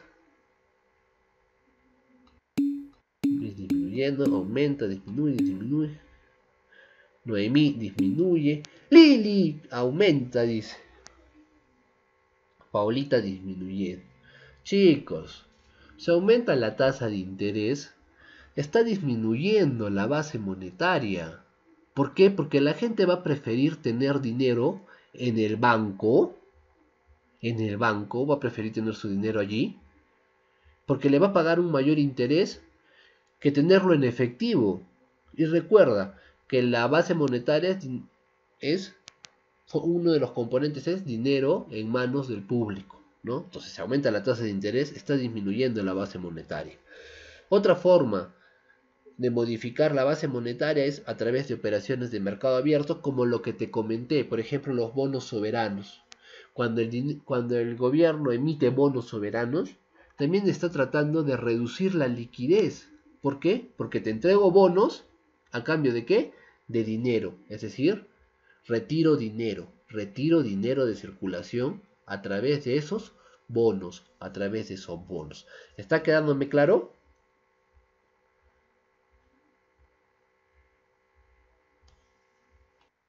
Entonces estoy hablando de algunos instrumentos que maneja, ¿no? Que maneja. ¿Ya? Muy bien. Muy bien. A ver. Uh, todavía nos falta. Con fe, con fe la hacemos. Con fe la hacemos. Ya. Sí. Sí, ya nos falta poquito. Ya nos falta poquito. Aguanten, aguanten, chicos. Bien, entonces volvemos ahora a la oferta monetaria. Volvemos ahora a la oferta monetaria. ¿Qué te había dicho de la oferta monetaria? Que era dinero en manos del público más depósitos a la vista, ¿no? Y muchas veces lo confundimos con la base monetaria, ¿no? La base monetaria también es dinero en manos del público, pero más reservas bancarias, ¿no? Igual, ya te he dicho, si el interés eh, influye, obviamente que influye, ya te he dicho, si aumenta la tasa de interés, obviamente va a haber menos dinero en manos del público, porque va a preferir tenerlo eh, ahorrado ganando ese interés elevado, ¿no? Muy bien. Ahora dice, el, Banco Central puede actuar en la oferta monetaria a través del encaje bancario. Ya, ya te ha quedado claro, ¿no? Que el encaje bancario es un porcentaje de que, que los bancos por ley tienen que quedarse con cada depósito que reciben, ¿no? Entonces, se puede eh, tener influencia en la oferta monetaria a través del encaje bancario? Sí, sí se puede tener. Y ahorita lo vamos a ver. ¿Ya? Esta es la ecuación. Me voy a pasar toda esta explicación. ¿Ya? simplemente la vamos a tener como esta es la ecuación de la oferta monetaria. Y te voy a explicar cada uno de sus componentes. ¿Ya?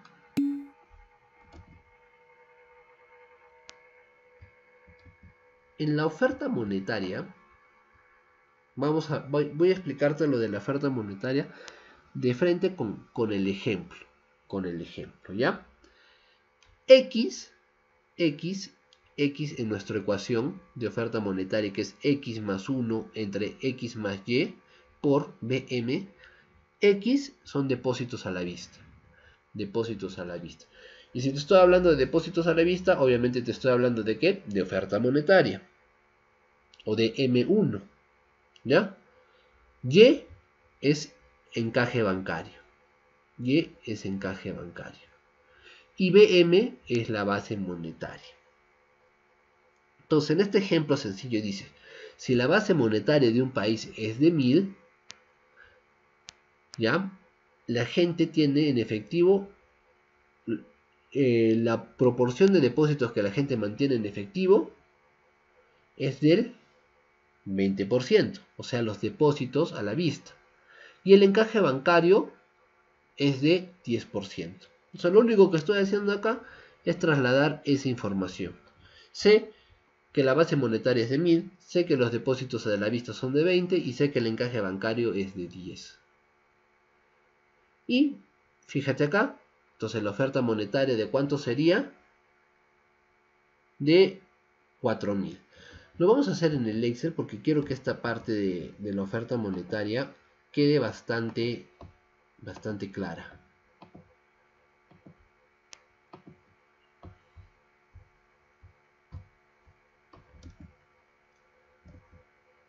¿Están mirando el Excel?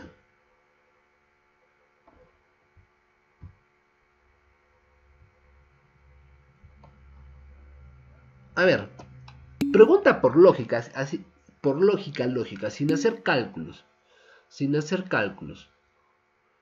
Si yo quiero aumentar la base monetaria, ¿tengo que aumentar o tengo que disminuir el encaje bancario?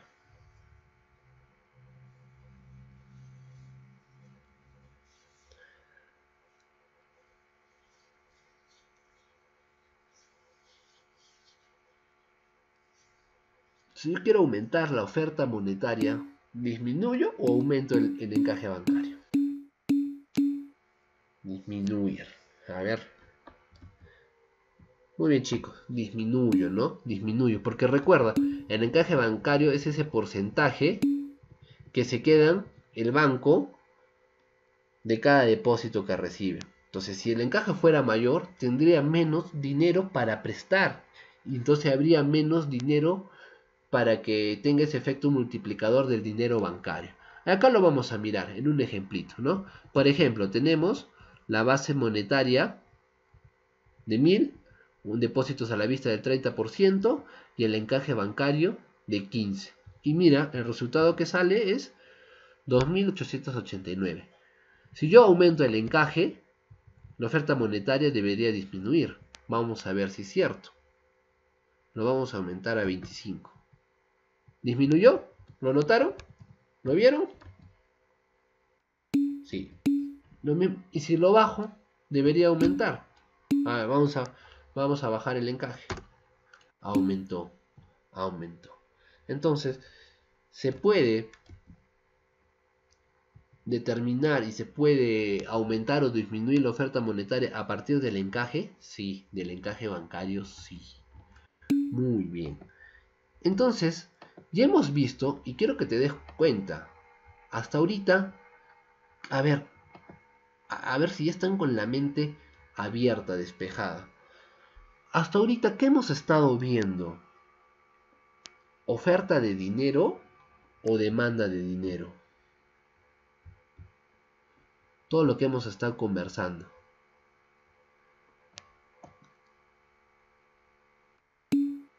Chantal oferta, nos dice. Ya. Los demás.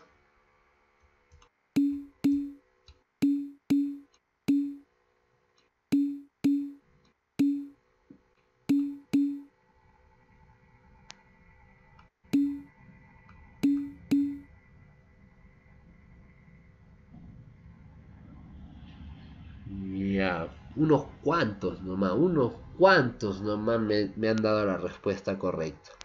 Estamos viendo oferta de dinero, oferta de dinero. Oferta, oferta. ¿Quién emite el dinero? ¿Quién emite el dinero? ¿O quién ofrece el dinero? ¿O quién da el dinero? El BCR, ¿no? El BCR, los bancos. El, Banco Central de Reservas el que emite el dinero, el que proporciona el dinero.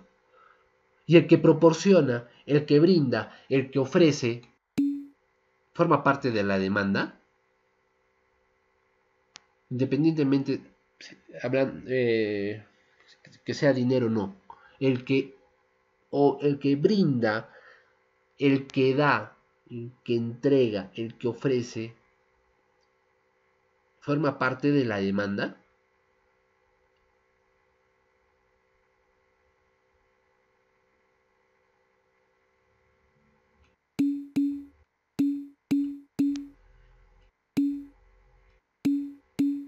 Entonces no me preocupen, pues. por eso les digo, piensen, piensen antes de responder piensa antes de responder. Hasta ahorita solo estamos hablando del BCR. Estamos hablando del BCR y de todas las políticas y de, todas las, y de todos los instrumentos que tiene para aumentar o para disminuir qué cosa.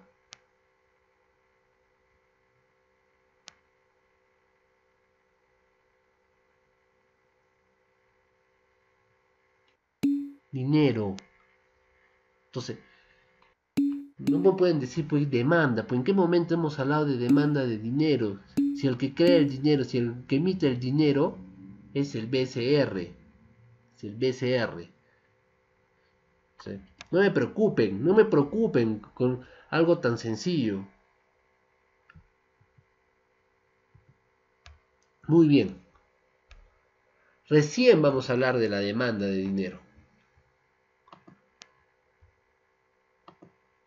Recién vamos a hablar, todo lo que he explicado forma parte de la oferta de dinero. Ahora recién vamos a hablar de la demanda de dinero. ¿Quiénes demandan dinero? Pues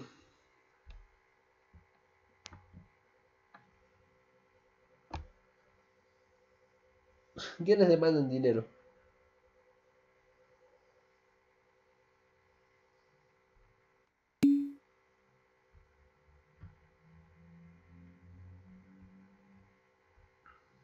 Demandan dinero pues todos, todos los que hemos visto.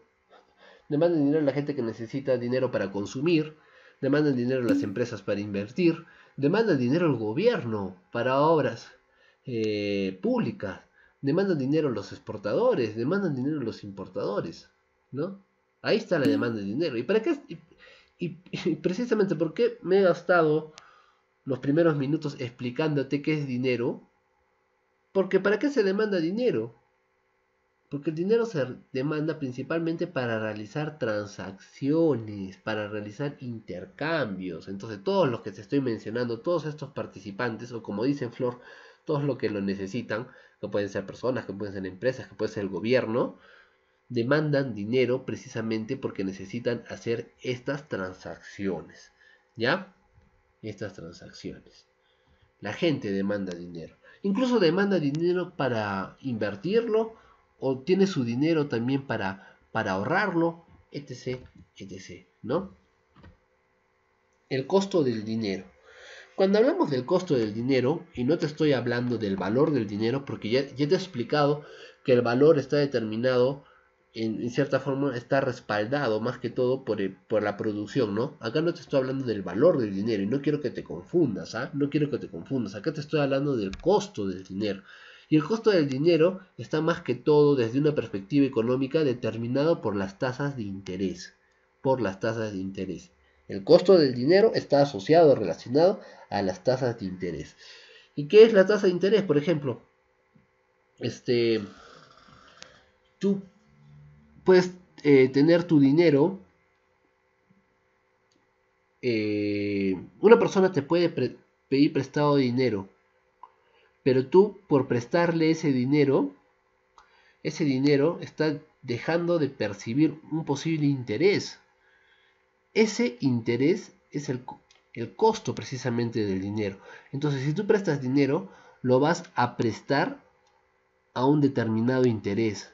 A un determinado interés que va a ser precisamente el costo del dinero para esa persona que en ese momento está demandándolo. Demandándolo un, ejemplo más fácil, ¿no? Cuando vas a un banco, demandas dinero, necesitas dinero. Y el banco te va a dar ese dinero a un costo. ¿Y ese costo cuál va a ser? Va a ser el interés. El interés. ¿Está claro?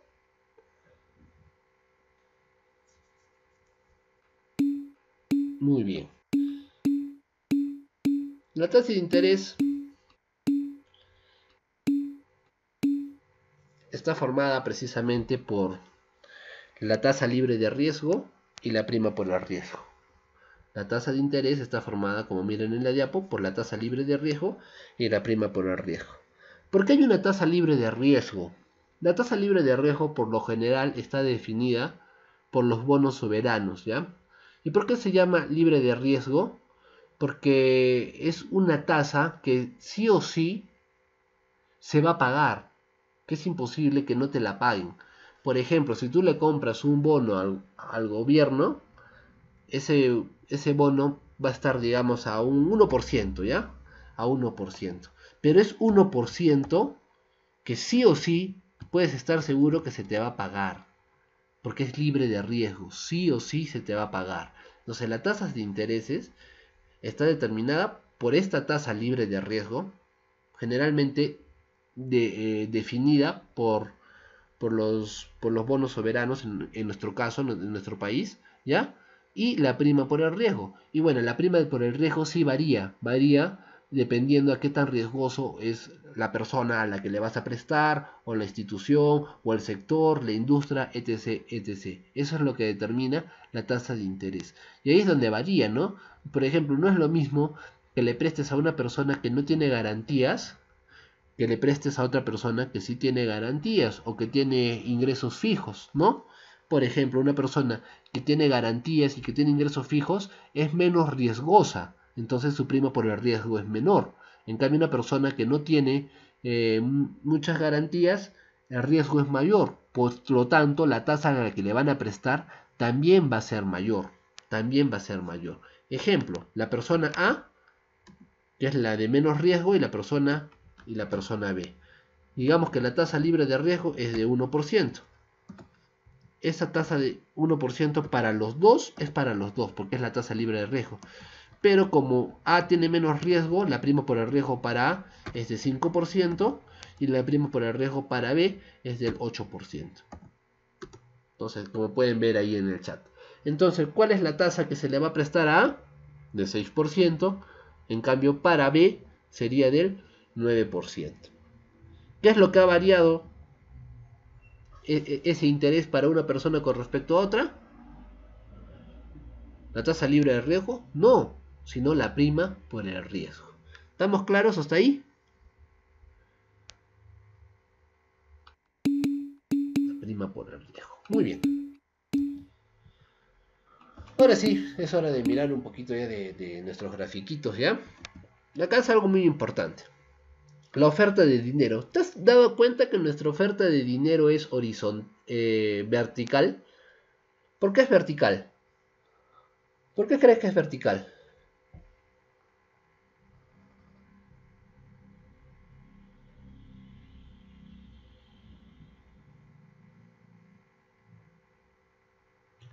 ¿Por qué creen que la oferta de dinero es vertical?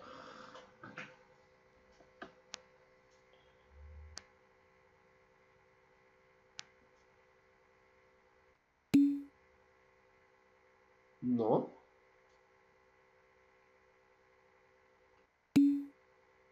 Tampoco.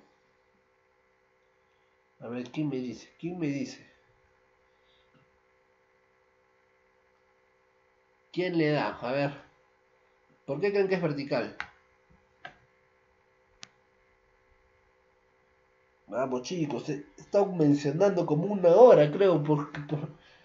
A ver, piensen, hemos hablado como más de una hora, literal, ¿ah? De la oferta de dinero. Eh, no, no te, ¿qué tiene que ver el interés? Oferta monetaria, la oferta de dinero, ¿ya? Como pueden observar allí, es vertical, porque ¿quién la define? ¿Quién la define? El BCR, porque está definida por el BCR. Por eso tiene esa forma. Por eso tiene, por eso tiene esa gráfica vertical. Está definida por el BCR. Ahora, Hablando de la demanda, ¿la demanda qué pendiente tienen?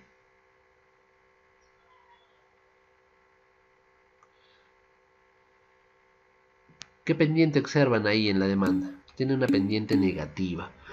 Tiene una pendiente negativa porque existe una relación inversa, inversamente proporcional, entre la demanda de dinero y la tasa de interés.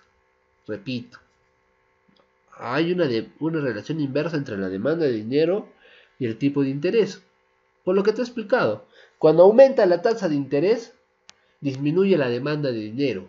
¿Por qué? Porque la gente prefiere tener el dinero en un banco que tenerlo en sus bolsillos, porque la tasa de interés es alta. En cambio, cuando disminuye la tasa de interés, cuando disminuye la tasa de interés, la gente va a preferir tenerlo en efectivo, porque de repente va a encontrar alguna alternativa mejor que tenerla depositada en un banco donde está ganando muy, muy, muy poco interés. Muy, muy, poco interés. ¿Ya? Entonces, variaciones que se den por tasas de interés, ojo, repito, las variaciones que se den por tasas de interés va a producir desplazamientos dentro de la curva de demanda de dinero. Por ejemplo, se aumenta si aumenta la tasa de interés, ese aumento en la tasa de interés lo mirarías dentro de la misma curva. Dentro de la misma curva. Estoy tratando de poner ahí una curva. ¿Sí? Lo mirarías acá.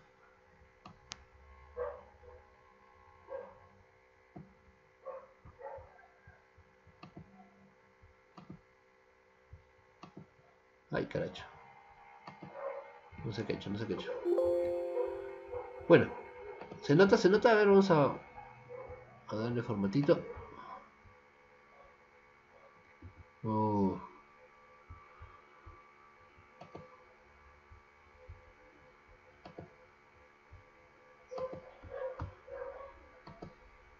Ah, ahí está. Se nota, ¿no? Entonces, desplazamientos perdón, incrementos o disminuciones de la tasa de interés se van a reflejar dentro de la misma curva de demanda de dinero. ¿Ya?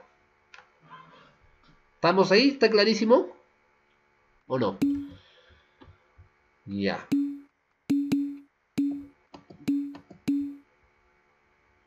Pero cuando aumenta el ingreso, ojo, ya no estoy hablando de la tasa de, interés, ahora estoy hablando del ingreso. Cuando aumenta el ingreso, ¿Qué significa? Que la gente tiene más dinero, ¿no?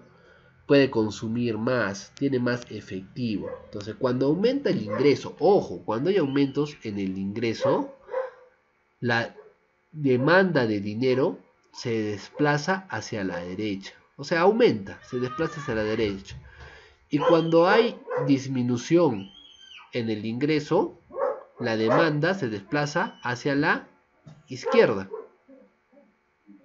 ¿Ya? Entonces, date cuenta de la diferencia. Una cosa es el incremento de las tasas de interés que producen desplazamientos dentro de la curva de demanda y otra, cosa es el aumento del ingreso o la disminución del ingreso que produce desplazamientos de la curva de demanda. ¿Sí? ¿Me están, me están captando? ¿Me están siguiendo?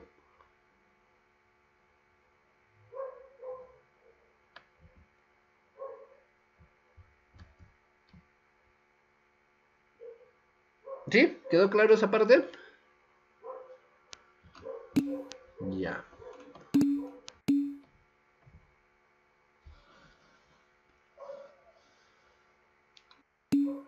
Bueno, el equilibrio en el mercado de dinero. Como ya les dije, el equilibrio en el mercado de dinero está conformado por el cruce de la oferta de dinero y la demanda de dinero, ¿no? En el corto plazo la oferta monetaria ya es fija y está determinada por el Banco Central de Reserva, ¿no? De acá estamos observando, ¿no? Esta es la oferta, M es la oferta y L es la demanda. ¿Cuál es el punto de equilibrio? Ojo, esto es importante. ¿Cuál es el punto de equilibrio? A ver, si ustedes han sido observadores, si son observadores, ¿Cuál es el punto de equilibrio de oferta monetaria y demanda monetaria? ¿Cuál es el punto de equilibrio?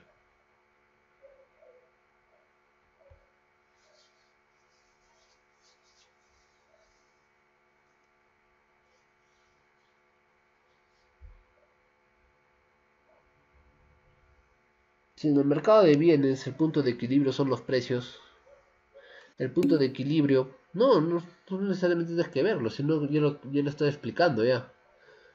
Si en el mercado de bienes el punto de equilibrio son los precios, en el mercado de dinero el punto de equilibrio ¿cuál es?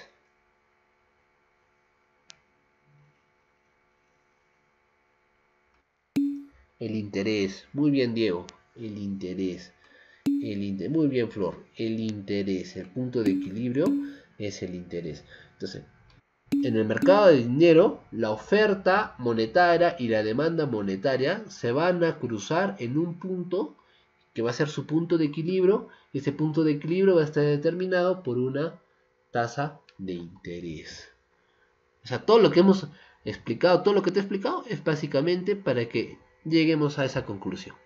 La demanda monetaria y la oferta monetaria se intersectan en un punto que va a ser el punto de equilibrio determinado por un tipo de interés, por un tipo de interés.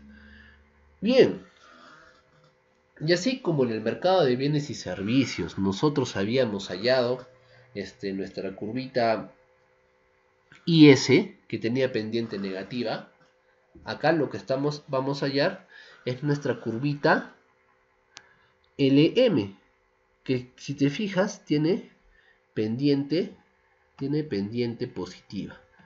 Tiene pendiente positiva. ¿Ya? Ahí está, creo que te fijas, tiene pendiente positiva. Se me va a mover. Y sabes que mejor la vamos a. La vamos a. A. ¿Qué te digo? A, a dibujar. A dibujar. Vamos a dibujarla mejor, ¿ya? La vamos a dibujar. ¿Los demás no están mirando?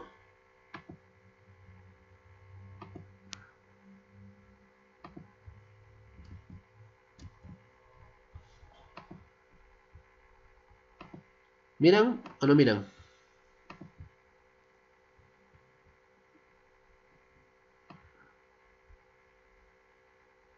¿Están mirando o no están mirando?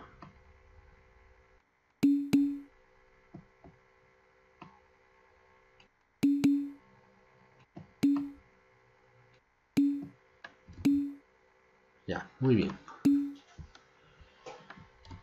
Acá vamos a tener este este es ingreso. Acá le vamos a poner dinero. Ya. Acá es interés. Acá también es interés. Ya hasta ahí creo que estamos bien. Ya entonces imaginemos que acá es mi ingreso. Ingreso. Acá tengo mi ingreso ingreso número 1 con este interés número 1 ya. Interés 1 y más o menos acá también va a venir un determinado interés. 1 caracho. 1 ya. Entonces empecemos primero analizando esta parte. En primer lugar a quién voy a tener acá quiero que te fijes, voy a tener aquí, aquí ¿quién va a estar? Ah, me equivoqué, me equivoqué. Aquí va a estar mi oferta monetaria. Esa es mi oferta monetaria. ¿Ya? Que está determinada por el BCR. Y ahora voy a agregar a mi demanda de dinero o mi demanda monetaria. Voy a tratar de poner a ver, ojalá que me salga. Ahí está. No me ha salido muy bien, pero ahí te lo acomodo. ¿Ya? Entonces, fíjate.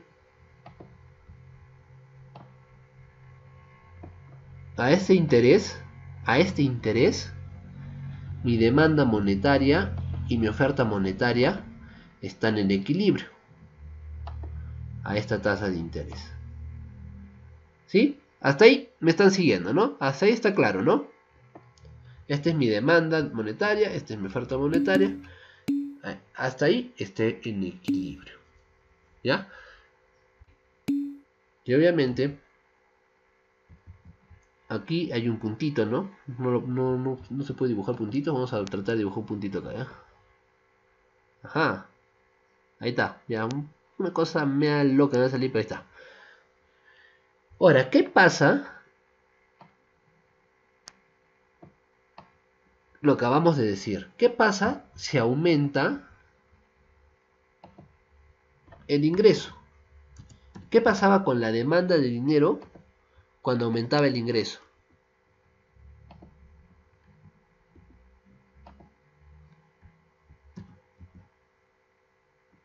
¿Qué pasaba con la demanda de dinero cuando aumentaba el ingreso?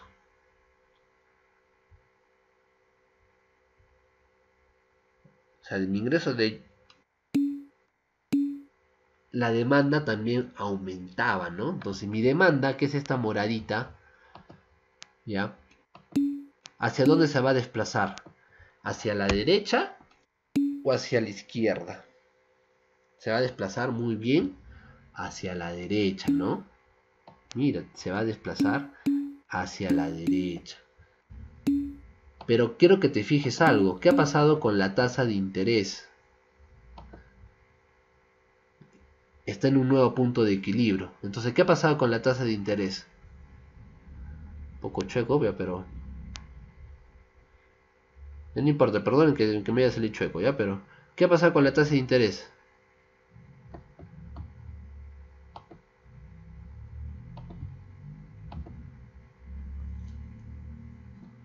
¿Qué ha pasado? Aumentó, ¿no? La tasa de interés aumentó. La tasa de interés, ¿te fijaste? Aumentó. Aumentó nuestra tasa de interés. Entonces ahora estaríamos en un nuevo puntito que sería el de acá. ¿No? Por ese aumento. ¿Te has dado cuenta? Ha aumentado. Quiero que te des cuenta ¿Cómo estamos armando esto? Ha aumentado nuestra tasa de... Ha aumentado nuestro ingreso. Ha aumentado nuestro ingreso. Y nuestro ingreso lo que ha producido... Ha producido un aumento, un desplazamiento de nuestra curva de demanda hacia la derecha. Y por ese desplazamiento también que ha pasado, ha habido un incremento de la tasa de interés. De la tasa de interés. Ahora, fíjate que nuestra curvita, nuestra curvita LM, tiene pendiente positiva. ¿Y por qué tiene pendiente positiva? Porque lo que te está indicando es que cuando hay aumento en el ingreso, también hay aumento en la tasa de interés. En la tasa de interés. ¿Está claro? ¿Cómo hemos determinado nuestra, nuestra curva LM?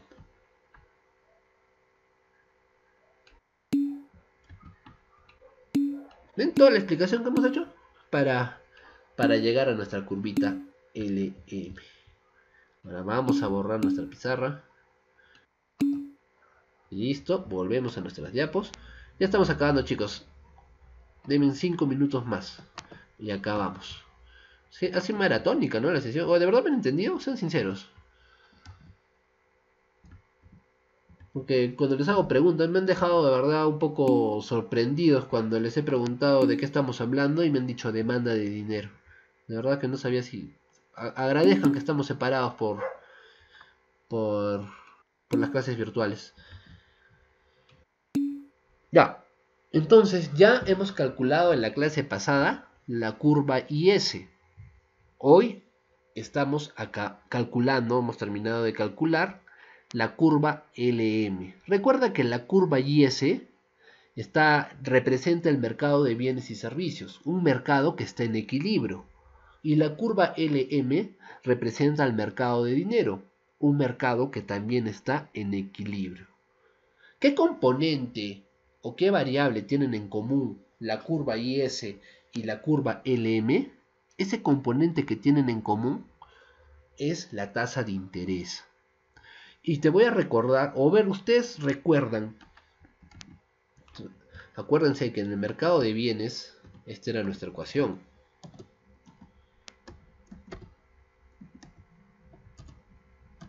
Lo voy a escribir ahí. Que algunos ya me han hecho su tarea, ¿no? Esa es nuestra ecuación, ¿no? En el mercado de, de bienes, ¿no? ¿Por qué tendrían, si esa es la ecuación del mercado de bienes, ¿Por qué tendrían en común el mercado de dinero y el mercado de bienes al tipo de interés como elemento que los interrelaciona? ¿Por qué?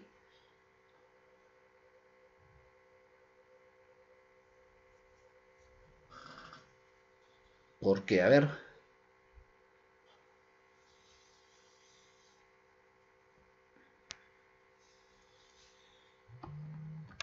¿Quién me dice? ¿Quién me dice? A ver.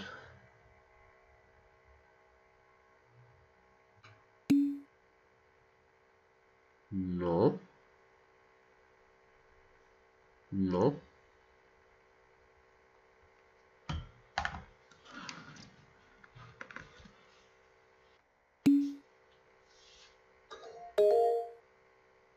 ¿Por qué? A ver. dime pues Isaac, estás ahí que levantas la mano, dime. Ah chicos, ah chicos, vamos, ¿por qué?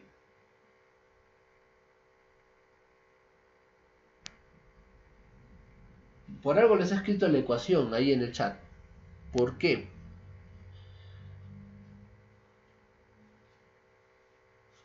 ¿Por qué les he escrito la ecuación?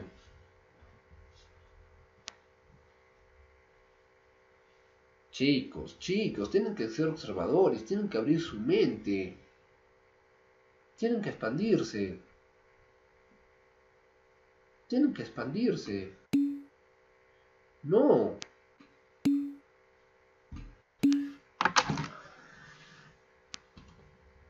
No, chicos, no, chicos, no.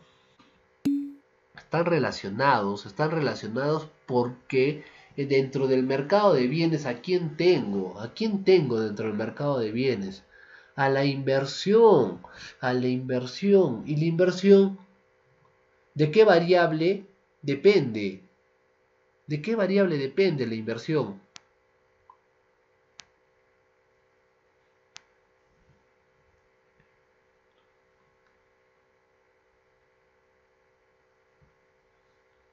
¿De qué variable depende la inversión?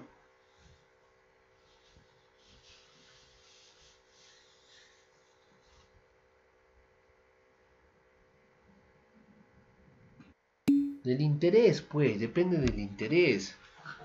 Entonces, si aumenta el interés, obviamente va a afectar la inversión. Y si afecta la inversión, afecta todo el mercado de bienes. Por eso les copié la ecuación. Por eso les copié la, ecuación. Entonces, ¿qué es lo que interrelaciona el mercado de bienes y al mercado de dinero? ¿Qué es lo que interrelaciona? El tipo de interés. El tipo de interés. Porque el tipo de interés afecta directamente al volumen de inversión y por eso afecta directamente a la demanda de bienes y servicios, de bienes y servicios. ¿Ok? ¿Ok?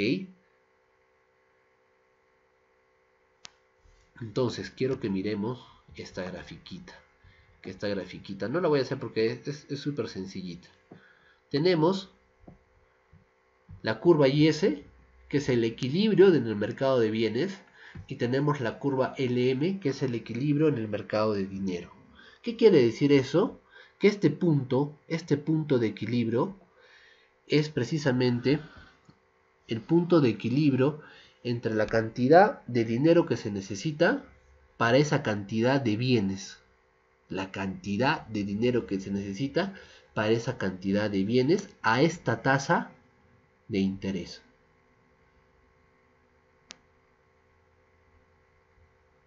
¿Están entendiendo?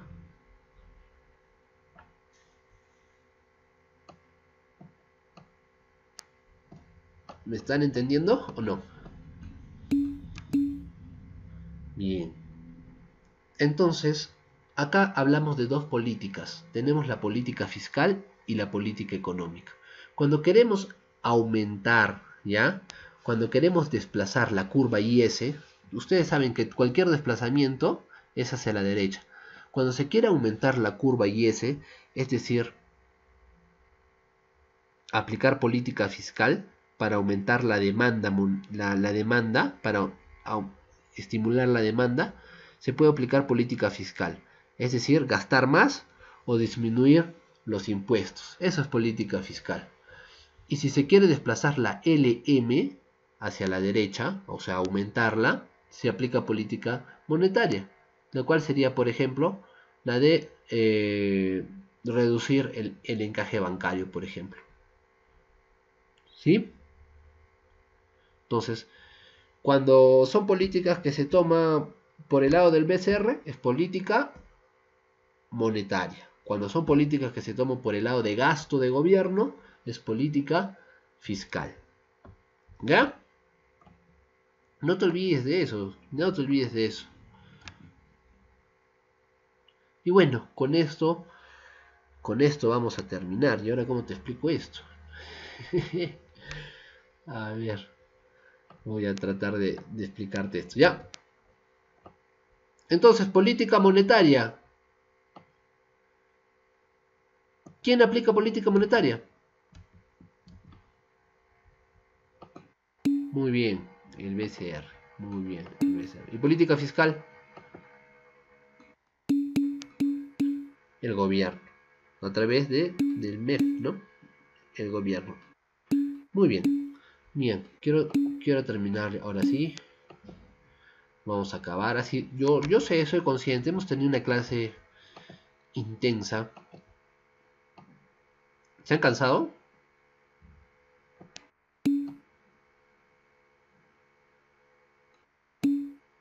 Yo sí me he cansado, me he cansado porque chicos, estoy, estoy hablando sin parar.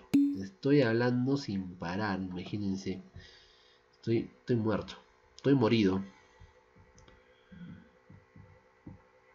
No, sí, me he cansado. Pero ¿saben qué? Si esto les explico en otra clase, ya se olvidaron todo lo que hemos avanzado. Y, tendremos que retroceder. Entonces, tenemos que empezar acá. Entonces, vamos a hacer eh, tres escenarios, ¿ya? este escenario de acá le vamos a llamar el mercado de dinero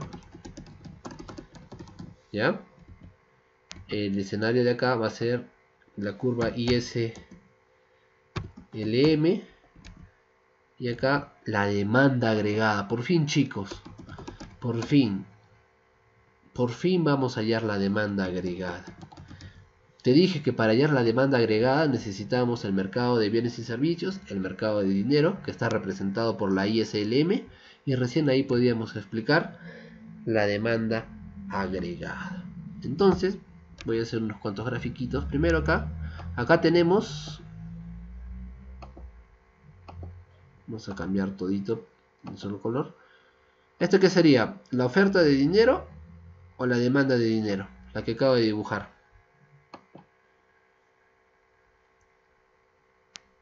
Oferta de dinero, demanda de dinero. Muy bien, oferta de dinero.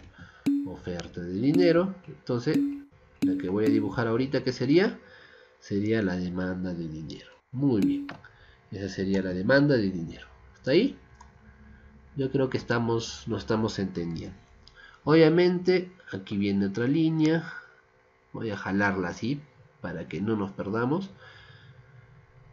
Y este punto de equilibrio que, está acá entre la oferta de dinero y la demanda de dinero, ¿qué vendría a ser?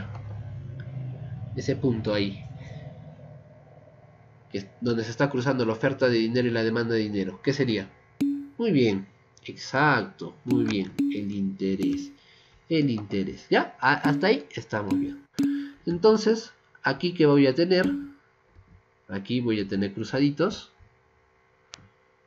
Vamos a dibujar aquí cruzadito, ay caracho,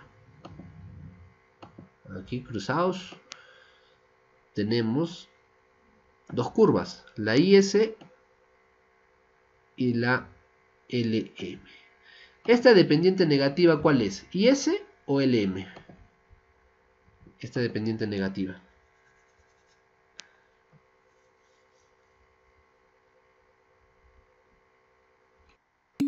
Muy bien. Excelente. Y S. Y acá quien tengo, la LE. ¿Verdad? Entonces, ¿qué tengo ahí? ¿Qué tengo aquí? Aquí. Aquí lo que tengo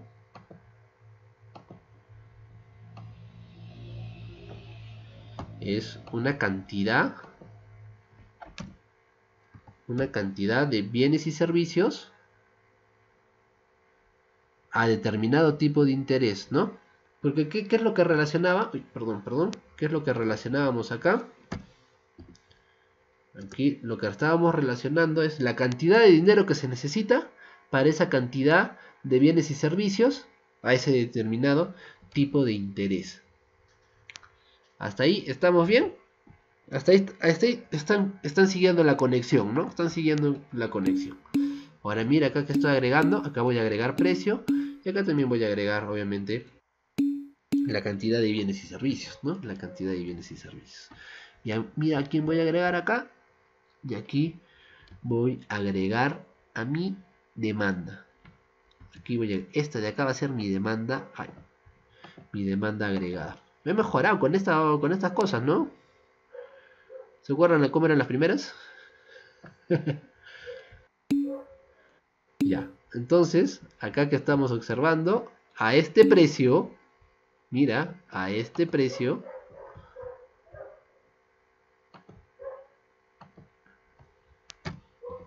se demanda esa cantidad de bienes y servicios.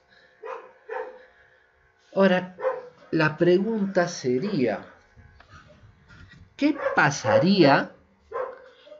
¿Qué pasaría si aumentan los precios? ¿Qué es lo que pasaría si aumentan los precios?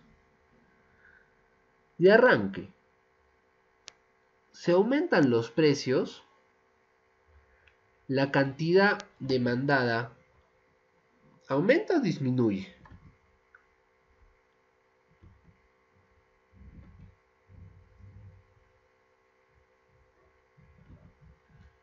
Disminuye, ¿no? Ya, ahí lo tenemos claro. Si aumentan los precios, la cantidad demandada de arranque disminuye. Ya, clarísimo. Ahora, si disminuye la cantidad demandada, es decir, si disminuye el consumo, ¿ya? ¿Qué creen que pasaría con la oferta monetaria? Es decir, la oferta monetaria recuerda que es la cantidad de dinero que tienen las personas en sus manos, ¿no? Más las reservas, este, eh, más los depósitos a la vista. Entonces, si aumenta, si aumentan los precios, la oferta monetaria, ojo, la oferta monetaria aumenta o disminuye.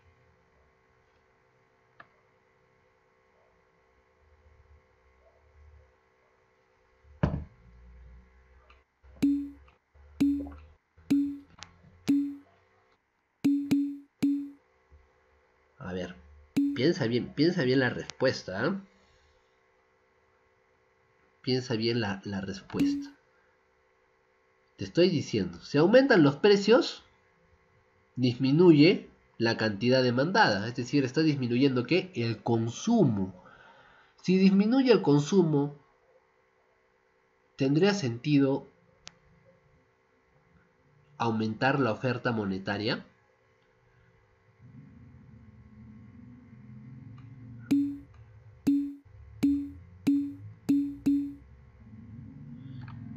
¿Para qué vas a aumentar si la gente no, no va a utilizar ese dinero?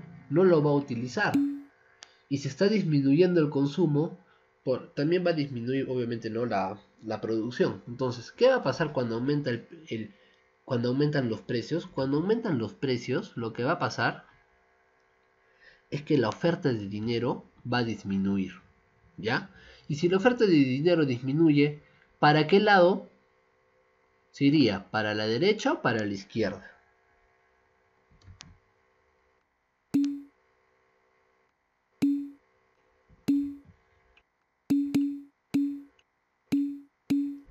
Muy bien, para la izquierda. Se va a ir para la izquierda. Entonces mira, mira lo que pasa acá con mi oferta. Mi nueva oferta de dinero se va hacia la izquierda. Y si mi oferta de dinero se está desplazando hacia la izquierda, mi curva LM, ¿para qué lado se desplazaría? ¿Derecha o para izquierda?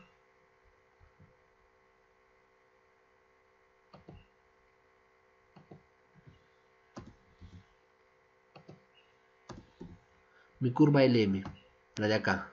¿Para qué lado se desplazaría? ¿Derecha o para izquierda? Si mi oferta monetaria ha disminuido ¿Y el M aumenta o disminuye?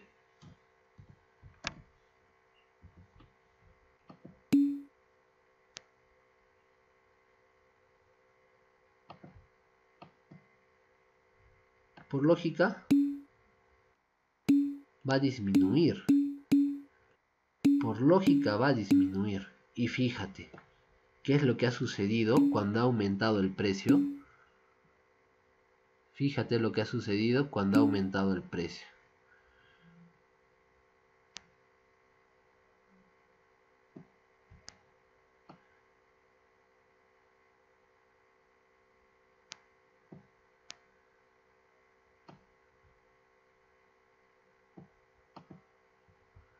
Así me he vuelto bueno en esto, ¿no?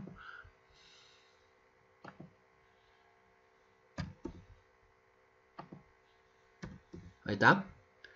Entonces, fíjate, cuando ha habido un incremento en el precio, quiero que te fijes todo lo que ha pasado. Cuando ha habido un incremento en el precio, ha habido una disminución en la cantidad demandada que ha producido una disminución en la oferta monetaria, que eso ha producido una disminución en la curva LM, por lo cual se ha desplazado hacia la izquierda y lo cual también ha implicado un incremento en la tasa de interés.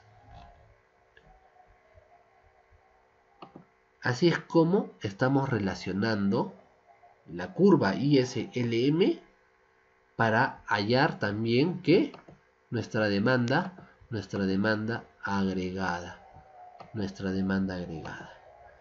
Y bien chicos, acá también podemos observarlo, ¿no? Lo mismo que te he hecho en la pizarrita, es lo mismo que te estoy colocando en esta grafiquita. Solo que lo he hecho desagregado. Entonces no te olvides, incrementos en precios también producen un incremento en qué? En la tasa de interés.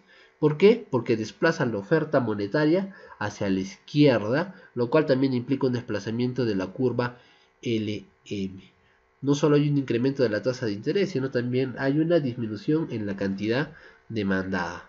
Pero esta ya es nuestra demanda agregada. ¿Y por qué es una demanda agregada? Porque está considerando tanto el mercado de bienes en la curva IS como el mercado de dinero en la curva LM. Muy bien chicos, esa es la última diapo de la clase del día de hoy. Queridos chicos, ya para poder retirarme a morir. Les pregunto, ¿está claro alguna duda que haya quedado por allí?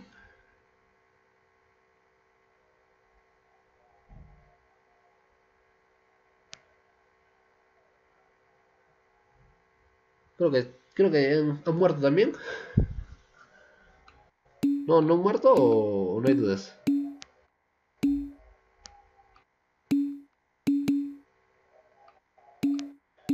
Todo clarín, exacto. Todo claro.